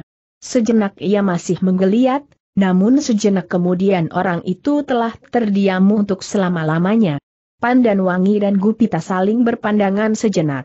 Mereka hampir-hampir telah terlupa kepada orang-orang lain yang berlari semakin lama semakin jauh. Aku tidak sengaja, desis Gupita. Pandan Wangi mengangguk-anggukan kepalanya. Ia percaya bahwa Gupita memang tidak sengaja. Karena itu katanya, agaknya memang sudah menjadi batas hidupnya orang itu harus mengakhiri hidupnya dengan senjatanya sendiri. Meskipun caranya agak berbeda dengan Arya Penangsang, desis Kupita. Pandan Wangi masih mengangguk-anggukan kepalanya. Kita tidak berhasil kali ini, desis Pandan Wangi sambil menyarungkan senjatanya, tetapi aku mengharap bahwa anak itu akan mendapat kesempatan untuk menilai dirinya sendiri. Sayang orang terbunuh, berkata Gupita kemudian. Kalau tidak, kita akan banyak mendapat keterangan. Sudahlah. Bukan salah kita. Kita akan memberitahukan kepada para peronda untuk merawat mayat itu. Tetapi mereka harus berhati-hati. Ya, mereka harus datang dalam jumlah yang cukup. Gupita menarik nafas dalam-dalam. Kemudian ia berdesis, sekarang kita akan kembali. Pandan Wangi menganggukkan kepalanya. Tetapi ketika tampak olehnya wajah Gupita yang ragu-ragu, maka ia pun segera menundukkan kepalanya. Keduanya pun kemudian melangkah perlahan-lahan mendekati kuda-kuda mereka. Tetapi mereka tidak saling berbicara apa pun. Gupita yang merasa bahwa ia belum menyampaikan pesan Gupala seluruhnya menjadi kecewa. Tetapi suasananya sudah menjadi rusak sama sekali karena kehadiran orang-orang yang berputus asa dan berbuat tanpa tujuan itu. Tetapi aku sudah mengatakan sebagian, katanya di dalam hati, sehingga lain kali aku hanya tinggal menanyakan jawabnya. Gupita menarik nafas dalam-dalam. Ia mencoba mengingat-ingat apa yang sudah dikatakannya. Namun tiba-tiba ia mengerutkan keningnya, Aku belum memintanya untuk Gupala. Aku belum mengatakan pokok persoalannya, ia berkata pula di dalam hatinya, tetapi Pandan Wangi sudah dapat menangkap maksudku. Dan ia sudah mengerti. Gupita terperanjat ketika ia mendengar Pandan Wangi bertanya, apakah kita terus pulang ke rumah? Gupita heran mendengar pertanyaan itu. Dengan ragu-ragu ia menjawab, ya, kita pulang. Tetapi persoalan kita, Maksudku persoalan yang dititipkan Gupala kepadaku masih belum selesai. Pandan Wangi tidak menyahut, tetapi kepalanya menjadi semakin tunduk. Adalah di luar dugaan sama sekali, bahwa tiba-tiba keduanya mendengar pula gemerisik di daunan di belakang mereka. Serentak mereka berbalik dan siap menghadapi kemungkinan apa pun yang bakal datang. Tetapi darah Gupita tiba-tiba saja serasa berhenti mengalir ketika ia melihat seseorang berdiri di hadapannya. Seorang yang berpakaian seperti seorang laki-laki. Tetapi dalam sekilas Gupita langsung dapat mengenalnya, bahwa ia bukan seorang laki-laki. Apalagi ketika ia melihat di tangan orang itu tergenggam sebatang tongkat baja putih, dengan sebuah tengkorak kecil yang berwarna kekuning-kuningan pada pangkalnya. Inikah Agung Sedayu yang pernah aku kenal dahulu terdengar orang itu berdesis. Sejenak Gupita membeku diam di tempatnya. Ditatapnya orang itu dari ujung kepala sampai ke ujung kakinya. Apakah kau melihat sesuatu yang lain padaku? Ia bertanya. Gupita masih tetap membisu. Inikah putri kepala tanah perdikan menoreh yang perkasa itu, dan bernama Pandanwangi? Gupita masih tetap berdiam diri, sedang Pandan Wangi menjadi terheran-heran melihat orang itu. Seperti Gupita ia pun segera mengenal bahwa orang itu sama sekali bukan seorang laki-laki. Adalah pantas sekali bahwa putri kepala tanah perdikan menoreh telah menggemparkan seluruh telatah pajang. Kini aku melihat sendiri, betapa ia mampu melawan tiga orang laki-laki sekaligus. Pandan Wangi menjadi semakin heran. Ia sama sekali tidak merasa bahwa namanya pernah dikenal orang sampai di luar telatah menoreh. Namun ia merasa, kata-kata itu sekedar suatu kata-kata sindiran yang mengungkat kemarahannya. Namun Seing, berkata orang bertongkat itu, kebesaran namanya sama sekali tidak diimbanginya dengan keluhuran terapsila seorang wanita. Pandan Wangi menjadi semakin tidak mengerti, apakah yang dimaksud oleh erang itu. Sekilas ia teringat kepada orang-orang yang baru saja melarikan diri. Apakah orang ini termasuk salah seorang dari mereka? Hi, kenapa kalian membeku seperti patung orang itu hampir berteriak? Kenapa? Dan inikah hasil perjalananmu, Agung Sedayu? Gupita menarik nafas dalam-dalam. Kini ia yakin siapakah yang dihadapinya, meskipun tongkat baja putih itu semula telah membingungkannya. Tetapi tidak salah lagi, sehingga karena itu ia berdesis, Sekar Mirah. Nah, kau masih ingat aku? Aku adalah Sekar Mirah. Tetapi kenapa kau tiba-tiba mengucapkan kata-kata yang dapat menyakitkan hati Pandan Wangi Gupita masih agak ragu. Oh, kau membelanya? Aku memang sudah yakin, bahwa kau pasti akan membelanya. Tunggu, Sekar Mirah. Biarlah aku berbicara. Tidak ada yang dibicarakan, dan aku pun tidak akan berbicara apa pun. Aku hanya akan sekedar menyatakan sakit hati yang hampir tidak tertahankan.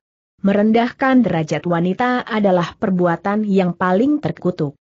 Pandan Wangi yang mendengar tuduhan-tuduhan itu tidak dapat menahan hatinya lagi, sehingga karena itu ia menggeram, apa maksudmu? Dan siapakah kau?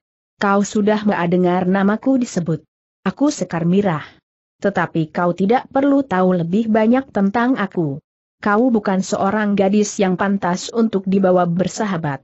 Dampan dan Wangi benar-benar tidak dapat menahan perasaannya lagi. Selangkah ia maju, apakah kau termasuk salah seorang upahan dari gerombolan yang keras kepala, yang baru saja kami usir dari tempat ini? Tunggu. Tunggu Gupita berteriak sekeras-kerasnya. Pertemuan yang aneh dan tiba-tiba ini sudah membuat kepalanya menjadi pening. Katanya kemudian, kalian salah paham. Dengarlah aku akan memberikan penjelasan. Tidak ada yang harus aku dengar. Aku hanya sekedar ingin mengatakan sesuatu yang menyekat dadaku. Sekarang dadaku terasa sudah lapang, dan aku akan pergi. Nanti dulu. Jangan menahanku. Tidak pandan wangilah yang berteriak. Kau menghina aku. Aku harus mendapat penjelasan, apa yang telah kau lakukan itu. Aku bukan seseorang yang begitu saja membiarkan diriku direndahkan, meskipun kadang-kadang aku dapat juga menahan diri. Tetapi tuduhanmu terlampau menyakitkan hati. Aku memang ingin membuat kau sakit hati, seperti hatiku yang pedih saat ini. Aku tidak dapat membiarkan aku tersiksa sendiri, sedang kau sambil tertawa-tawa menikmati kesegaran tindakanmu yang memalukan itu. Apa yang sudah aku lakukan? Apa? Persetan. Sekarang aku akan pergi. Aku tidak peduli lagi kepada kalian. Tidak sahut Pandan Wangi yang loncat semakin maju.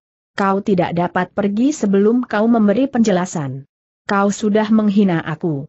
Dan aku tidak akan membiarkan diriku kau inakan tanpa mengetahui persoalannya. Kalau aku memang bersalah, mungkin aku dapat mengerti dan tidak akan bersakit hati. Tetapi dalam keadaan serupa ini, aku tidak mau. Sekar Mirah tidak segera menjawab tetapi suara tertawanya meninggi dan berkepanjangan. Benar-benar menyakitkan hati. Namun justru Pandan Wangi mengangguk-anggukan kepalanya sambil hergumam, sekarang aku sudah mendapat gambaran, dengan siapa aku berhadapan. Suara tertawa Sekar Mirah tiba-tiba terputus. Dengan serta-merta ia bertanya, dengan siapa kau berhadapan? Seorang perempuan yang paling tidak tahu diri yang pernah aku temui. Suara tertawamu mirip dengan suara tertawa Ki Pedasura, atau barangkali kau muridnya. Sekar Mirah mengerutkan keningnya.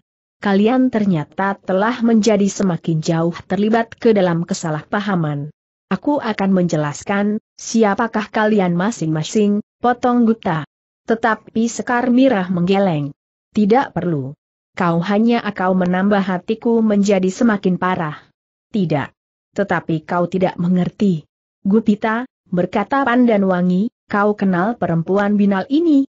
Biarlah ia di sini. Aku ingin mengenalnya lebih banyak lagi, kau keliru, Pandan Wangi. Tidak. Seperti perempuan ini yakin tentang diriku sebelum ia mengenalku, aku pun yakin tentang dirinya sebelum aku mengenalnya. Kalian adalah gadis-gadis yang paling bodoh yang pernah aku temui, akhirnya Gupita pun menjadi jengkel kalian telah dibakar oleh perasaan kalian tanpa nalar. Kalau kalian mempunyai telinga, dengarkan aku akan berbicara. Tidak perlu, hampir berbareng Pandan Wangi dan Sekar Mirah menjawab. Namun keduanya menjadi terkejut oleh jawaban itu. Kalau kalian tidak mau mendengar keterangan, apa yang akan kalian lakukan? Aku hanya ingin mengenalnya lebih banyak, sahut Pandan Wangi. Keminalan dan keliarannya memberi gambaran yang semakin jelas padaku. Tutup mulutmu perempuan yang tidak tahu diri, Sekar Mirah memotong. Tetapi Pandan Wangi menyahut lebih keras, ini derahku. Aku dapat berbuat apa saja di sini. Aku dapat mengusir kau, dan menangkap kau dan dapat memperlakukan kau menurut kehendakku. Aku adalah putri kepala tanah perdikan.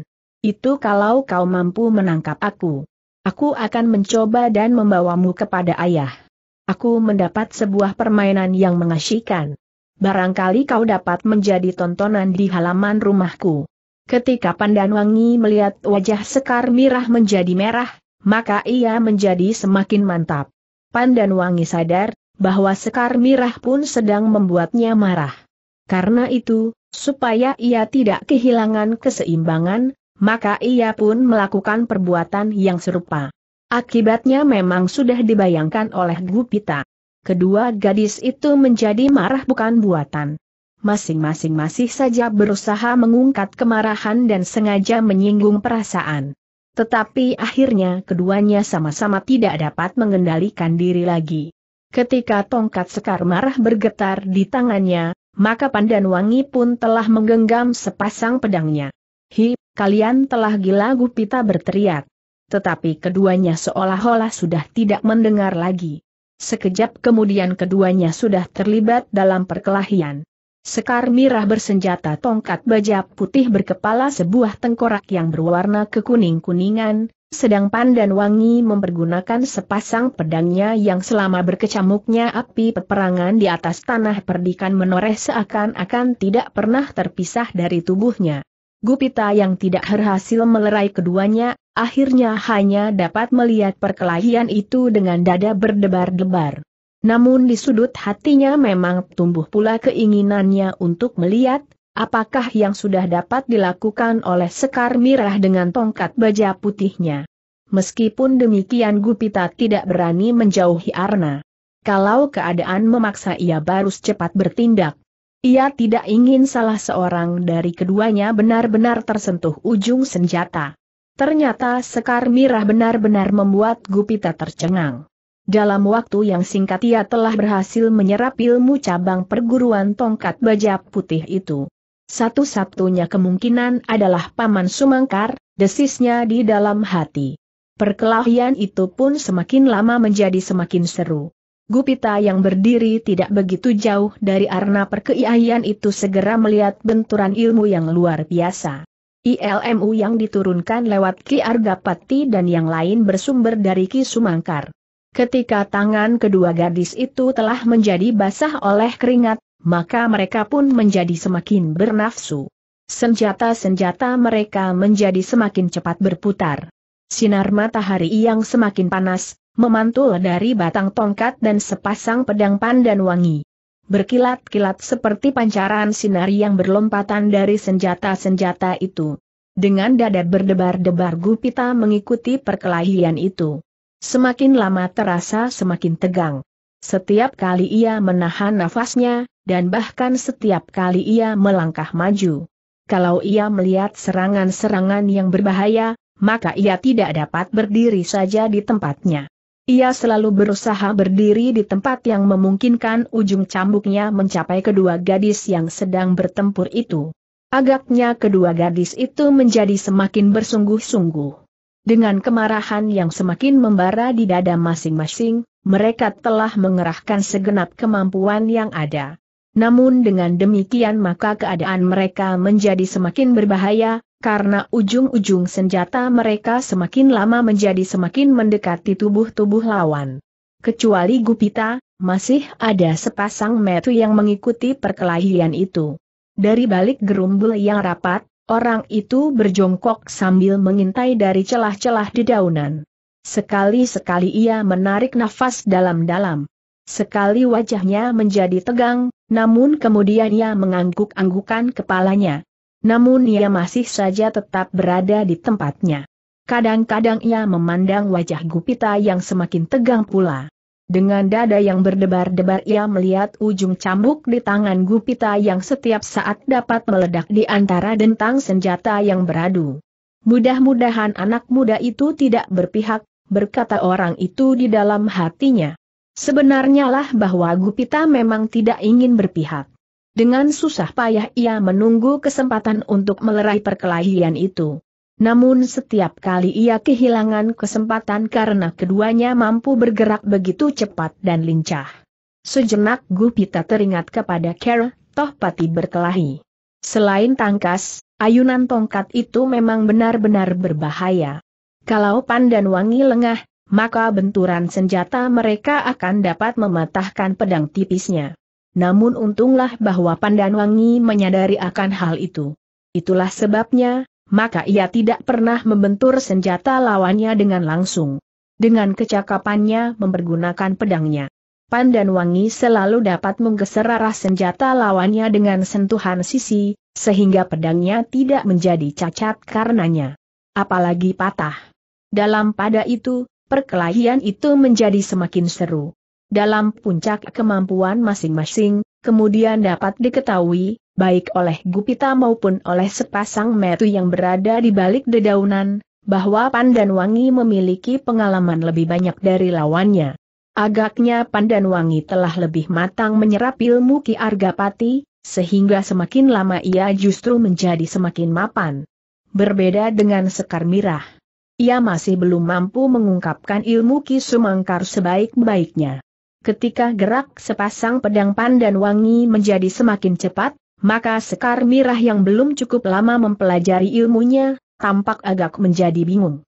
Keseimbangan telah bergoncang, desis Gupita di dalam hatinya, perkelahian itu harus dihentikan sebelum salah seorang dari mereka merasa menang atau kalah.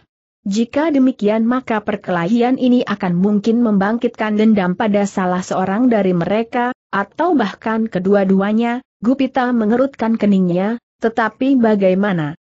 Dalam pada itu perkelahian itu masih berlangsung terus. Namun semakin lama menjadi semakin nyata, bahwa Pandan Wangi memang lebih banyak mempunyai pengalaman sehingga Sekar Mirah menjadi semakin sulit menghadapinya. Tidak dapat ditunda-tunda lagi, pikir Gupita. Karena itu maka ia meloncat semakin dekat. Sementara itu cambuknya meledak dahsyat sekali beberapa jengkal saja dari keduanya. Baik Pandan Wangi maupun Sekar Mirah terkejut karenanya. Ketika cambuk itu meledak untuk kedua kalinya, tepat di antara keduanya, maka mereka berloncatan surut selangkah. Berhentilah berkelahi Gupita berteriak. Jangan gagu kami, sahut Sekar Mirah. Kami belum selesai, Pandan Wangi hampir berteriak. Kalian sudah menjadi gila. Kalau kalian hanya dapat berbicara dengan senjata, maka aku pun akan berbicara dengan senjata. Bagus, jawab Sekar Mirah, aku bersedia. Kau bermaksud agar aku mempergunakan senjataku terhadapmu juga bertanya Pandan Wangi. Ternyata sikap kedua gadis itu membuat Gupita menjadi bingung. Namun, dalam pada itu, seseorang muncul dari balik gerumbul sambil berkata sereh, Sudahlah, Ger. Aku sudah mengatakan, bahwa carry yang kau pilih agaknya kurang menguntungkan. Biarlah, guru, jawab Sekar Mirah. Gupita yang berpaling juga mendengar suara itu, terperanjat pula. Dengan serta-merta ia berdesis, Paman Sumangkar. Ya, anak mas. Akulah yang telah membawa Angger Sekar Mirah ke telatah menoreh, tetapi kenapa Paman biarkan perkelahian ini terjadi? Tanda petik. Aku tidak dapat mencegahnya. Tetapi aku tahu bahwa Angger ada di dekat Arna, sehingga aku percaya bahwa tidak akan terjadi sesuatu yang mengkhawatirkan. Gupita mengerutkan keningnya. Kemudian jawabnya, tetapi aku menemui kesulitan untuk melerainya, Paman. Angger Sekar Mirah akan menghentikan perkelahian. Tidak, tiba-tiba Sekar Mirah memotong, aku akan berkelahi terus, jangan, Ger. Sebaiknya kau berhenti. Aku tidak akan berhenti. Gadis itu harus berlutut di bawah kakiku. Bagus, sahut Pandan Wangi, marilah kita teruskan. Aku atau kau yang akan mencium telapak kaki. Tidak suara Sumangkar meninggi. Aku perintahkan Angger Sekar Mirah menghentikan perkelahian. Dada Sekar Mirah berdesir. Tetapi ia tidak dapat membantah lagi. Ia sadar, bahwa gurunya benar-benar menghendaki perkelahian berhenti. Dan tiba-tiba saja Pandan Wangi bertanya kepada Sumangkar, siapakah Kiai? Apakah perempuan ini murid Kiai? Ya, Ger, jawab Sun Fingkar, gadis ini adalah muridku. Kenapa tiba-tiba saja ia menyerangku? Baik dengan kata-kata maupun dengan tongkat itu. Caption, baik Pandan Wangi maupun Sekar Mirah terkejut karenanya. Ketika cambuk itu meledak untuk kedua kalinya, tepat di antara keduanya, maka mereka berloncatan surut selangkah. Berhentilah berkelahi Gupite bertiariak. Jangan ganggu kami, sahut Sekar Mirah. Sumangkar menarik nafas dalam-dalam. Maafkan, Ger. Aku kira hal ini hanya terjadi karena kesalahpahaman. Tidak, bukan sekedar salah paham, sahut Pandan Wangi. Kami belum berkenalan, belum berbicara tentang apa pun. Apa yang dapat menimbulkan salah paham? Sumangkar mengangguk-anggukan kepalanya. Kau benar, Ger. Tetapi pembicaraan Angger dengan orang-orang yang menyerang Angger berdua sebelum inilah yang dapat menumbuhkan salah paham. Gupita menarik nafas. Itukah sebabnya, Paman? Dan Paman tidak mencegahnya aku sudah mencoba, Ger. Maksud guru, akulah yang telah berkeras hati untuk berkelahi melawan gadis ini bertanya Sekar Mirah. Apakah yang harus aku katakan, Ger Sumangkar ganti bertanya. Tetapi aku memang tidak mencegahnya dengan keras. Ada keinginanku untuk melihat sampai di mana Engger Sekar Merah mampu mengungkapkan ilmunya menghadapi ilmu dari perguruan lain. Kali ini ilmu yang diturunkan oleh Ki Argapati, bukankah begitu? Apakah Kiai mengenal ayah bertanya Pandan Wangi? Berkenalan secara pribadi belum. Tetapi sudah tentu aku mengenal namanya, siapakah Kiai sebenarnya? Sumangkar. Namaku Sumangkar. Dan Gupita melanjutkannya, salah seorang bekas senapati Jepang, bukan senapati, Sumangkar membetulkan, seorang juru masak, Gupita menarik nafas sekali lagi. Tetapi, tiba-tiba Sekar Mirah berkata lantang, apakah aku akan berdiam diri menghadapi kenyataan ini? Kenyataan yang mana bertanya Gupita. Aku mendengar apa yang dikatakan oleh keenam orang itu tentang kalian keenam orang yang berhasil kalian kalahkan. Yang seorang di antaranya terbunuh itu. Jangan kau dengarkan igawan mereka, sahut Gupita. Kau akan mendengar langsung tentang pandan wangi daripadanya, atau dari Gupala. Siapa itu Gupala bertanya Sekar Mirah. Gupita mengerenyitkan alisnya. Namaku Gupita dan adikku bernama Gupala, gila, aku tidak mengenal nama-nama itu, desis Sekar Mirah. Pandan Wangi pun menjadi bingung. Dan tiba-tiba ia bertanya, siapakah sebenarnya gembala ini?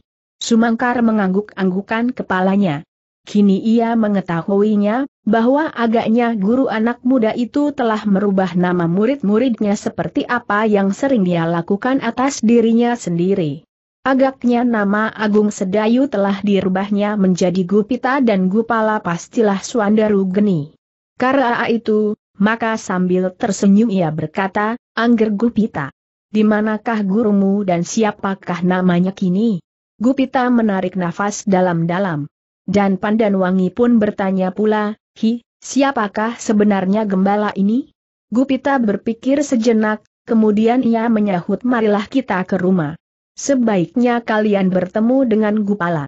Aku tidak kenal Gupala, Sekar Mirah berteriak. Aan aku tidak mau kembali ke tempat yang sama sekali tidak aku kenal.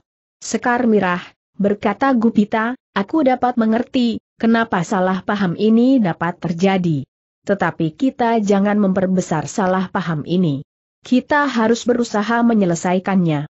Kalau kau sudah bertemu dengan Gupala, eh, maksudku Swandaru, maka semuanya akan menjadi jelas. Siapakah Swandaru itu Pandan Wangilah yang memotong. Dan apakah hubungan gadis ini dengan Suandaru dan dengan kau Gupita? Nah, agaknya ia tidak mengatakannya, sahut Sekar Mirah. Memang, menilik namanya yang sekarang, Gupita, ia ingin melupakan hidupnya yang lama, ketika ia bernama Agung Sedayu. Itulah yang aku maksudkan dengan salah paham. Karena itu semakin cepat kita bertemu dengan Suandaru akan menjadi semakin baik. Salah paham ini akan segera hilang. Apakah hubungannya semua ini dengan Kakang Suandaru bertanya Sekar Mirah. Gupita menarik nafas dalam-dalam. Kemudian ia menjawab ragu, Sekar Mirah. Suandaru akan dapat menjelaskan kepadamu, lalu kepada Pandan Wangi Gupita. Berkata, Pandan Wangi, gadis yang bernama Sekar Mirah ini adalah adik Gupala. Yang nama sebenarnya adalah Suandaru Geni. Hipan dan Wangi mengerutkan keningnya. Tiba-tiba wajahnya menjadi tegang. Sekilas teringat olehnya pesan Gupala yang telah disampaikan kepadanya oleh Gupita. Kalau ia menerima pesan itu, maka Sekar Mirah akan menjadi saudara perempuannya. Dalam keragu-raguan itu ia mendengar Sekar Mirah bertanya, apakah hubunganmu dan Kakang Suandaru dan dengan gadis ini? Tidak ada hubungan apa-apa antara aku dan Pandan Wangi, selain dalam usaha bersama mempertahankan hak di atas tanah perdikan ini. Hubungan yang lain agaknya sudah mulai dijalin antara Pandanwangi dengan Adi Suandaru. Aku kini adalah seorang utusan Adi Suandaru. Tetapi sayang, bahwa pembicaraan kami belum selesai, orang-orang itu sudah mengganggu kami. Apalagi tuduhan mereka yang keji telah membuat kami marah dan kehilangan kesabaran. Sebuah getaran yang aneh telah menyentuh dada Sekar Mirah. Meskipun tidak jelas benar, tetapi ia melihat remang-remang hubungan antara gadis yang bernama Pandan. Wangi itu dengan kakaknya dan dengan Agung Sedayu. Karena itu, maka dadanya pun menjadi berdebar-debar seperti dada Pandan Wangi pula. Dalam pada itu, Sumangkar yang mendengarkan penjelasan Gupita itu mengangguk-anggukan kepalanya. Ia lebih cepat dapat menangkap maksudnya. Bahkan sesaat kemudian ia telah mulai mempunyai gambaran, hubungan antara mereka. Tanpa maksud apa pun Sumangkar kemudian mengangguk-anggukan kepalanya sambil berkata, begitulah kiranya. Angger Sekar Mirah memang terlampau cepat dibakar oleh perasaan cemburu. Guru, Sekar Mirah hampir berteriak. Tetapi suaranya terputus. Sumangkar hanya tersenyum. Dipandanginya wajah muridnya dan wajah Gupita yang juga bernama Agung Sedayu yang kemerah-merahan itu. Sementara itu dada Pandan Wangi berdesir tajam. Ditatapnya wajah Sekar Mirah sejenak. Kini ia sempat menilai gadis itu. Meskipun ia tidak sedang berhias, namun Sekar Mirah adalah seorang gadis yang cantik. Pandan Wangi menarik nafas dalam-dalam. Inilah agaknya kunci dari pertanyaan yang selama ini tersimpan di hatinya. Kenapa Gupita bertanya tentang hatinya, tidak atas namanya sendiri, tetapi atas nama Gupala, agaknya Gupita telah meninggalkan seorang gadis di kampung halamannya, atau di suatu tempat yang lain, yang kini mencarinya. Dengan gambaran yang meskipun masih samar-samar tetapi kedua gadis itu kini telah mengerti, bahwa sebenarnya lah mereka telah terikat dalam suatu salah paham. Tetapi yang paling menyesal adalah Sekar Mirah. Ia telah melontarkan tuduhan-tuduhan yang paling menyakitkan hati. Samar-samar ia dapat menangkap maksud Gupita, yang katanya, aku kini adalah seorang utusan Adi Suandaru. Tetapi sayang, bahwa pembicaraan kami belum selesai, orang-orang itu sudah mengganggu kami. Meskipun demikian Sekar Mirah masih saja berdiam diri mematung di tempatnya. Angger Sekar Mirah, berkata Sumangkar yang melihat penyesalan di wajah muridnya, apakah salahnya, kalau kau memberanikan dirimu minta maaf kepada Angger Pandanwangi? Sekar Mirah menundukkan wajahnya. Itu pasti akan lebih baik bagi hubunganmu selanjutnya. Meskipun belum begitu jelas, tetapi aku melihat kaitan hubungan di antara kalian semuanya. Sekar Mirah masih menundukkan kepalanya. Sementara Pandanwangi menjadi ragu-ragu menanggapi keadaan. Kalian adalah gadis-gadis yang berjiwa besar, berkata Sumangkar kemudian. Aku percaya, bahwa kalian akan dapat saling memaafkan dan melupakan apa yang baru saja terjadi. Kedua gadis itu kini semakin menunduk. Sedang di dada Pandanwangi masih juga terjadi gejolak yang kadang-kadang hampir menyesakkan nafasnya. Masih juga terkenang olehnya, Gembala muda itu bermain dengan serulingnya, kemudian lari bersama-sama menghindari anak buah Ki Pedasura. Anak muda yang bernama Agung Sedayu itu seolah-olah menyeretnya saja di sepanjang pematang suah yang tidak digarap. Tetap saat itu ia sama sekali belum mengenal anak muda yang bernama Gupala, yang juga disebut bernama Swam Daru Geni. Ia belum melihat anak muda periang yang gemuk itu. Kini ia harus melihat kenyataan. Meskipun tidak jelas, namun ia mengerti seperti yang dikatakan oleh orang tua yang bernama Sumangkar itu, bahwa Sekar Mirah diamuk oleh perasaan cemburu. Inilah kenyataan yang aku hadapi, desisnya di dalam hati. Tetapi kini selain Gupita ia telah mengenal pula Gupala. Menurut penglihatannya keduanya mempunyai kelebihan sendiri-sendiri. Mempunyai daya tariknya masing-masing. Gupala yang juga bernama Suandarulah yang telah menyatakan perasaannya kepadanya lewat Gupita. Dan kini, seorang gadis telah datang pula mencari Gupita yang juga bernama Agung Sedayu itu. Dengan demikian maka Pandan Wangi masih juga merenung untuk sesaat. Ia sadar dari angan-angannya ketika ia mendengar Sumangkar berkata kepada Sekar Mirah, Sekar Mirah. Seharusnya kau minta maaf kepadanya. Selanjutnya kalian berdua harus melupakan apa yang pernah terjadi ini. Memang pahit agaknya untuk mengakui kesalahan. Tetapi itu adalah sikap yang paling baik. Betapapun beratnya, dan betapapun tinggi hatinya, namun Sekar Mirah akhirnya berkata, Pandan Wangi. Aku minta maaf atas keterlanjuranku. Kepala Pandan Wangi pun tampaknya terlampau kaku untuk mengangguk. Namun akhirnya kepala itu tergerak juga sambil berkata, baiklah kita lupakan semua peristiwa yang baru saja terjadi. Nah, sahut Sumangkar, aku memang sudah menyangka, bahwa kalian memang berjiwa besar. Angger Agung Sedayu, katanya kemudian kepada Agung Sedayu yang juga menyebut dirinya Gupita, kita menjadi saksi, bahwa seterusnya peristiwa ini tidak akan disebut-sebut lagi. Ya, jawab Gupita, kita semua melupakannya, Gupita berhenti sejenak, lalu, sekarang, marilah kita kembali ke padukuhan induk.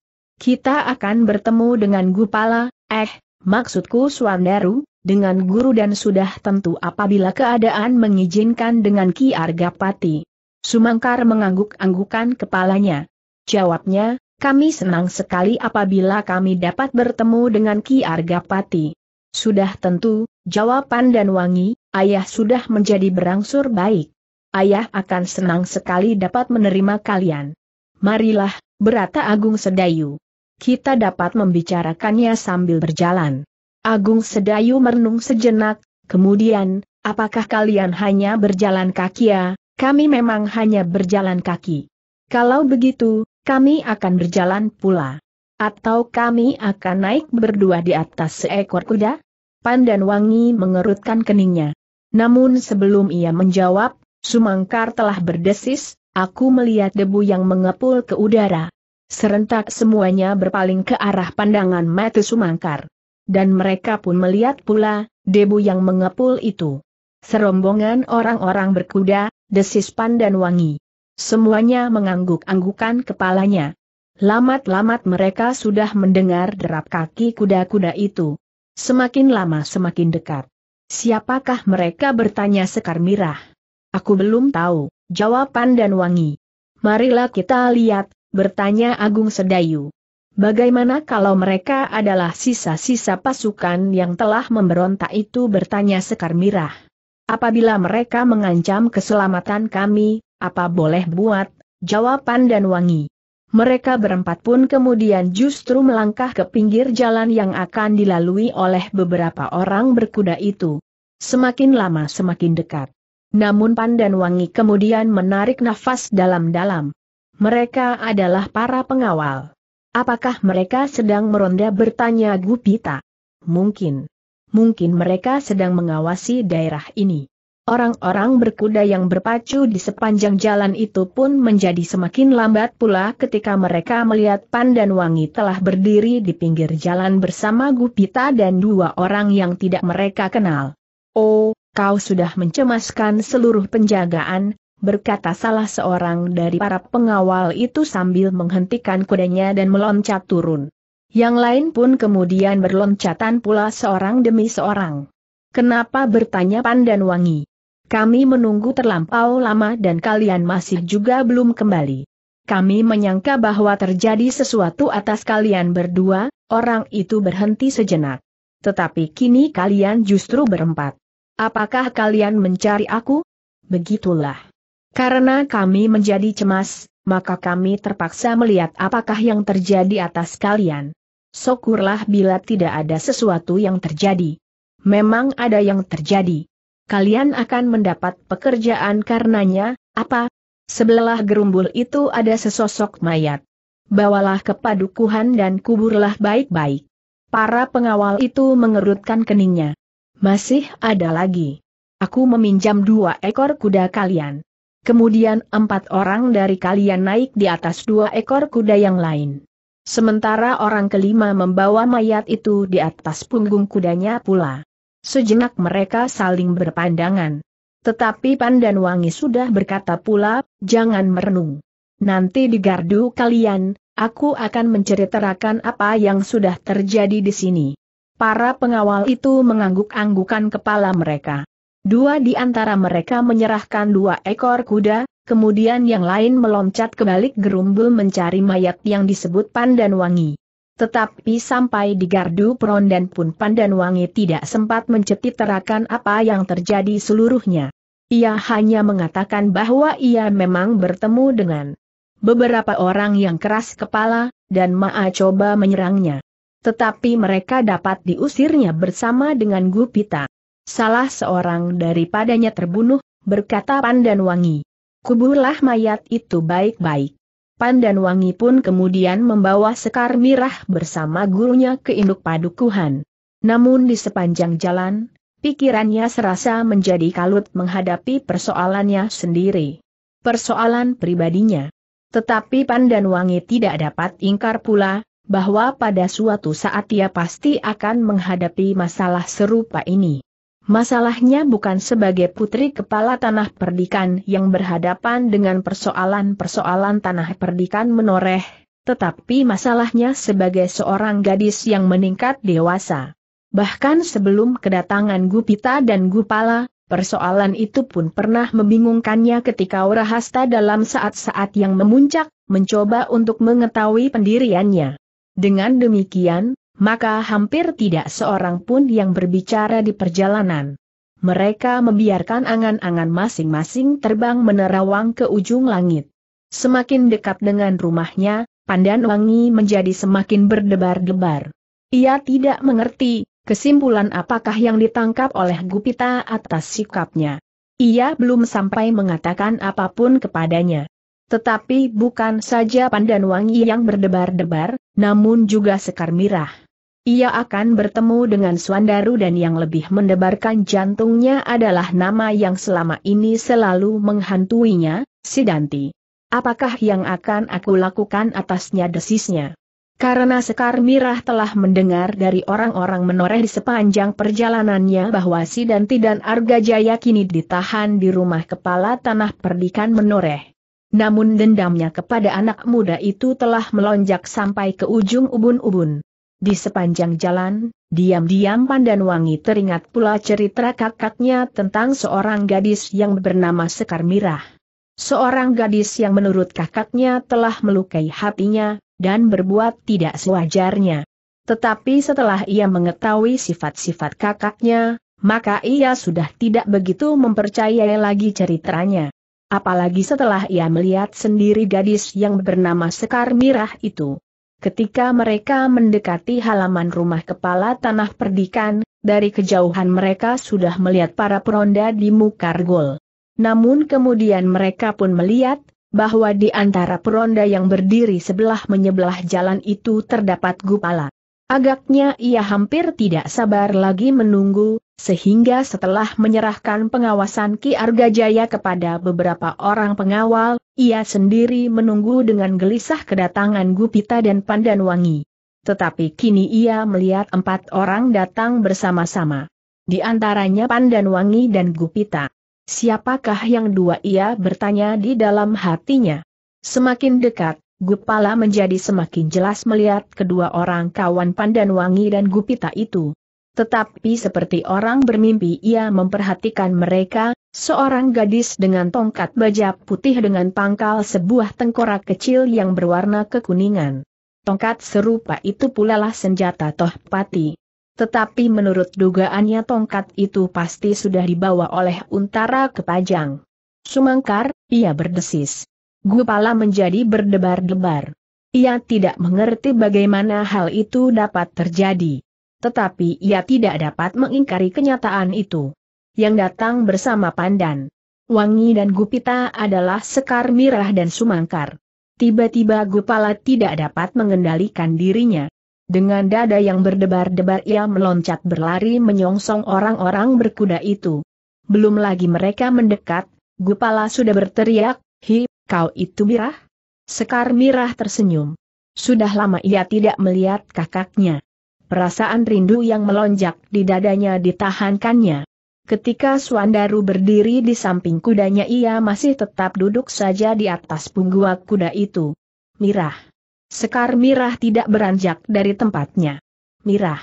Apakah kau kesurupan tiba-tiba tangan Swandaru yang juga bernama Gupala itu menarik tangan Sekar Mirah sehingga gadis itu hampir saja jatuh terpelanting dari kudanya. Tetapi dengan tangkasnya ia justru meloncat dan atas bantuan Gupala Sekar Mirah berhasil tegak di atas tanah. Gupala heran sejenak melihat sikap adiknya. Namun kemudian diterkamnya pundak gadis itu dan diguncang-guncangnya. Hi, kenapa kau kemari, Mirah. Bagaimana dengan ayah dan ibu? Sakit, desis adiknya. Lepaskan dahulu.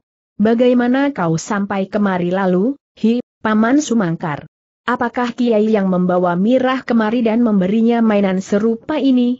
Ya, ger. Akulah yang memberinya. Apakah kau dapat juga mempergunakan Gupala bertanya kepada adiknya, kemudian, tetapi bagaimana dengan ayah dan ibu? Ayah dan ibu siapa Sekar Mitah bertanya. Gupala mengerutkan keningnya mendengar pertanyaan itu. Ayah dan ibuku ia menjawab. Sekar Mirah menggelengkan kepalanya. Aku belum mengenal ayah dan ibu seorang anak muda gemuk yang bernama Gupala. Hus, Gupala berdesis, jangan main-main. Aku bertanya sebenarnya. Bagaimanakah ayah dan ibu? Sekar Mirah memandang Gupala dengan tajamnya. Dan sekali lagi ia berkata sambil menggeleng-gelengkan kepalanya. Aku tidak kenal dengan seorang yang bernama Gupala. Bagaimana aku dapat mengatakan sesuatu tentang ayah dan ibunya? Kemayu kau, desis Gupala. Kalau kau tidak kenal Gupala, maka kau tidak akan mengenal Gupita. Kenapa kau mengikutinya kemari? Siapa yang mengikutinya? Paman Sumangkar. Dan kau mengikuti Paman Sumangkar, Begitu aku tidak mengikuti siapa pun. Omong kosong.